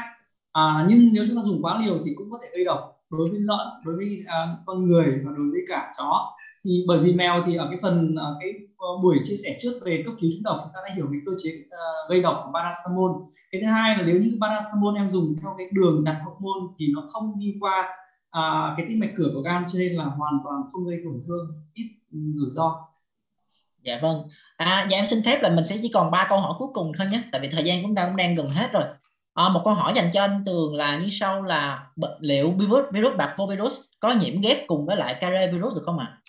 À, trong cái báo cáo nghiên cứu của tôi thì cũng thấy có nhưng cái tỷ lệ nó cũng khá là ít. Nó có tôi một hai trường hợp đấy. Cái para paraso virus đấy là cái dùng bởi vì tại sao tôi lại không nói ở đây là là là care? Bởi vì là cái care thì chúng ta thấy rằng là à, tôi thiết kế cái primer để đi tất cả cái họ của care cho nên là cũng có đồng nhiễm cả care và vapo trong cái tỷ lệ nhưng nó thấp. Và chủ yếu lưu ý với anh chị là psycho. Và psycho là một giống mới nổi và hiện nay còn đang có rất nhiều những cái vấn đề cần phải làm với con này dạ vâng um, bác sĩ cho hỏi là liệu fingastim có thể sử dụng được trên mèo không ạ à? câu hỏi số 2 là thuốc neobogen có dùng được cho mèo khi bị nhiễm nhiễm mạch giảm mạch cầu không ạ à? À, thì đầu tiên thì cái điều trị giảm bạch cầu thì tôi nói với anh chị là nó rất là tương tự như đối với điều trị bao bụng của chó. Thế nhưng tuy nhiên cái yếu tố mà gây suy giảm miễn dịch bằng cách là giảm à, uh, bạch cầu ở trên mèo nó trầm trọng hơn, cho nên là chúng ta phải dùng liều cao hơn. Và cái thứ hai nữa là uh, cái tỷ lệ mà mà thành công ấy uh, của tử vong của mèo ấy thì phần lớn là chúng ta thấy là cái tỷ lệ mà chúng ta không không kích được cái bạch cầu đáp ứng ở cái phim tin này ở mèo là khá kém. À, chúng ta vẫn phải dùng thôi nhưng mà chúng ta thấy là nó đáp ứng không không tốt. Dạ thì uh, tiếp theo là bạn ấy nói cái gì nhỉ? anh à, anh em có em có để trong chatbox của anh là cái thuốc Neubogen là có sử dụng được cho mèo khi bị nhiễm giảm bạch cầu không ạ? À? À, tôi xin lỗi rằng là tôi cũng không thể biết hết nếu như các anh chị ở cái vùng hoặc là ở cái đấy thì anh chị có thể cho tôi biết cái thành phần không? Nếu cái tên biệt dược thì tôi không thể biết được nó là cái gì. Dạ vâng à vâng vâng chắc là sau, sau đây là câu hỏi cuối cùng trả lời bạn sau bởi vì nó phải là biết là cái thành phần tên của nó có biệt dược tôi không biết được nó là cái gì dạ vâng sau đây chắc là câu hỏi cuối cùng của trình cho chương trình ngày hôm nay à thầy ơi uh, cho em hỏi bài giảng của thầy có nói đến trường hợp hạ kali huyết không áp dụng cho chó bull pháp và các dòng mũi ngắn? Vậy nếu các dòng này bị bệnh virus thì có phương pháp nào khác để can thiệp không ạ? À? à, các anh chị tôi nhắc lại là nó chỉ có 10% và đối với những con chó uh, phải rất là đi ỉa nhiều nôn nhiều thì mới có nguy cơ phát triển uh, cái kali đó. Cho nên là nếu trường hợp mà uh, đối với bull pháp ấy thì uh, theo kinh nghiệm điều trị tôi nó không không quá là nghiêm trọng và chúng ta điều trị thông thường và chúng ta chỉ dùng cân bằng bằng zinger chúng ta dùng cân bằng bằng natri à bằng muối là đã được rồi không cần phải dùng cái dung dịch liều cao. Còn lại dung dịch zinger chúng ta đã có kali rồi. Dạ vâng. Dạ vâng à, đó là chắc là em sẽ xin phép kết thúc cái phần trả lời câu hỏi giao lưu giữa anh Tường và các bạn à, quý khách hàng của công ty Sơ Việt Nam tại đây tại vì chúng ta đã đến cái thời kết của chương trình rồi à thì uh, là nếu như các quý anh chị còn bất cứ cái câu hỏi nào nữa thì có thể gửi đường link về cái email sau đây để chúng ta có thể um, đặt các câu hỏi và công ty Sơ Việt Nam sẽ gửi đến cho tiến sĩ Nguyễn Minh Tường để có thể giúp mọi người trả lời thêm các câu hỏi sau chương trình này. Uh, thật sự là ngày hôm nay rất là cảm ơn um, cảm ơn anh ờ, Nguyễn Minh Tường đã đến với lại cùng công ty Sơ Việt Nam và dành thời gian rất là nhiều cũng như là cảm ơn rất là các nhiều quý, quý anh chị khách hàng đã dành thời gian buổi chiều hôm nay để cùng lắng nghe chia sẻ từ phía công ty Sơ Việt Nam cũng như là anh Nguyễn Minh Tường rất là nhiều à, hy vọng là chúng ta đã có những cái giây phút là bổ ích uh, để có thể là tiếp thu thêm những kiến thức mới cũng như là có thể áp dụng được vào trong quá trình mà điều trị tại phòng khám của các anh chị.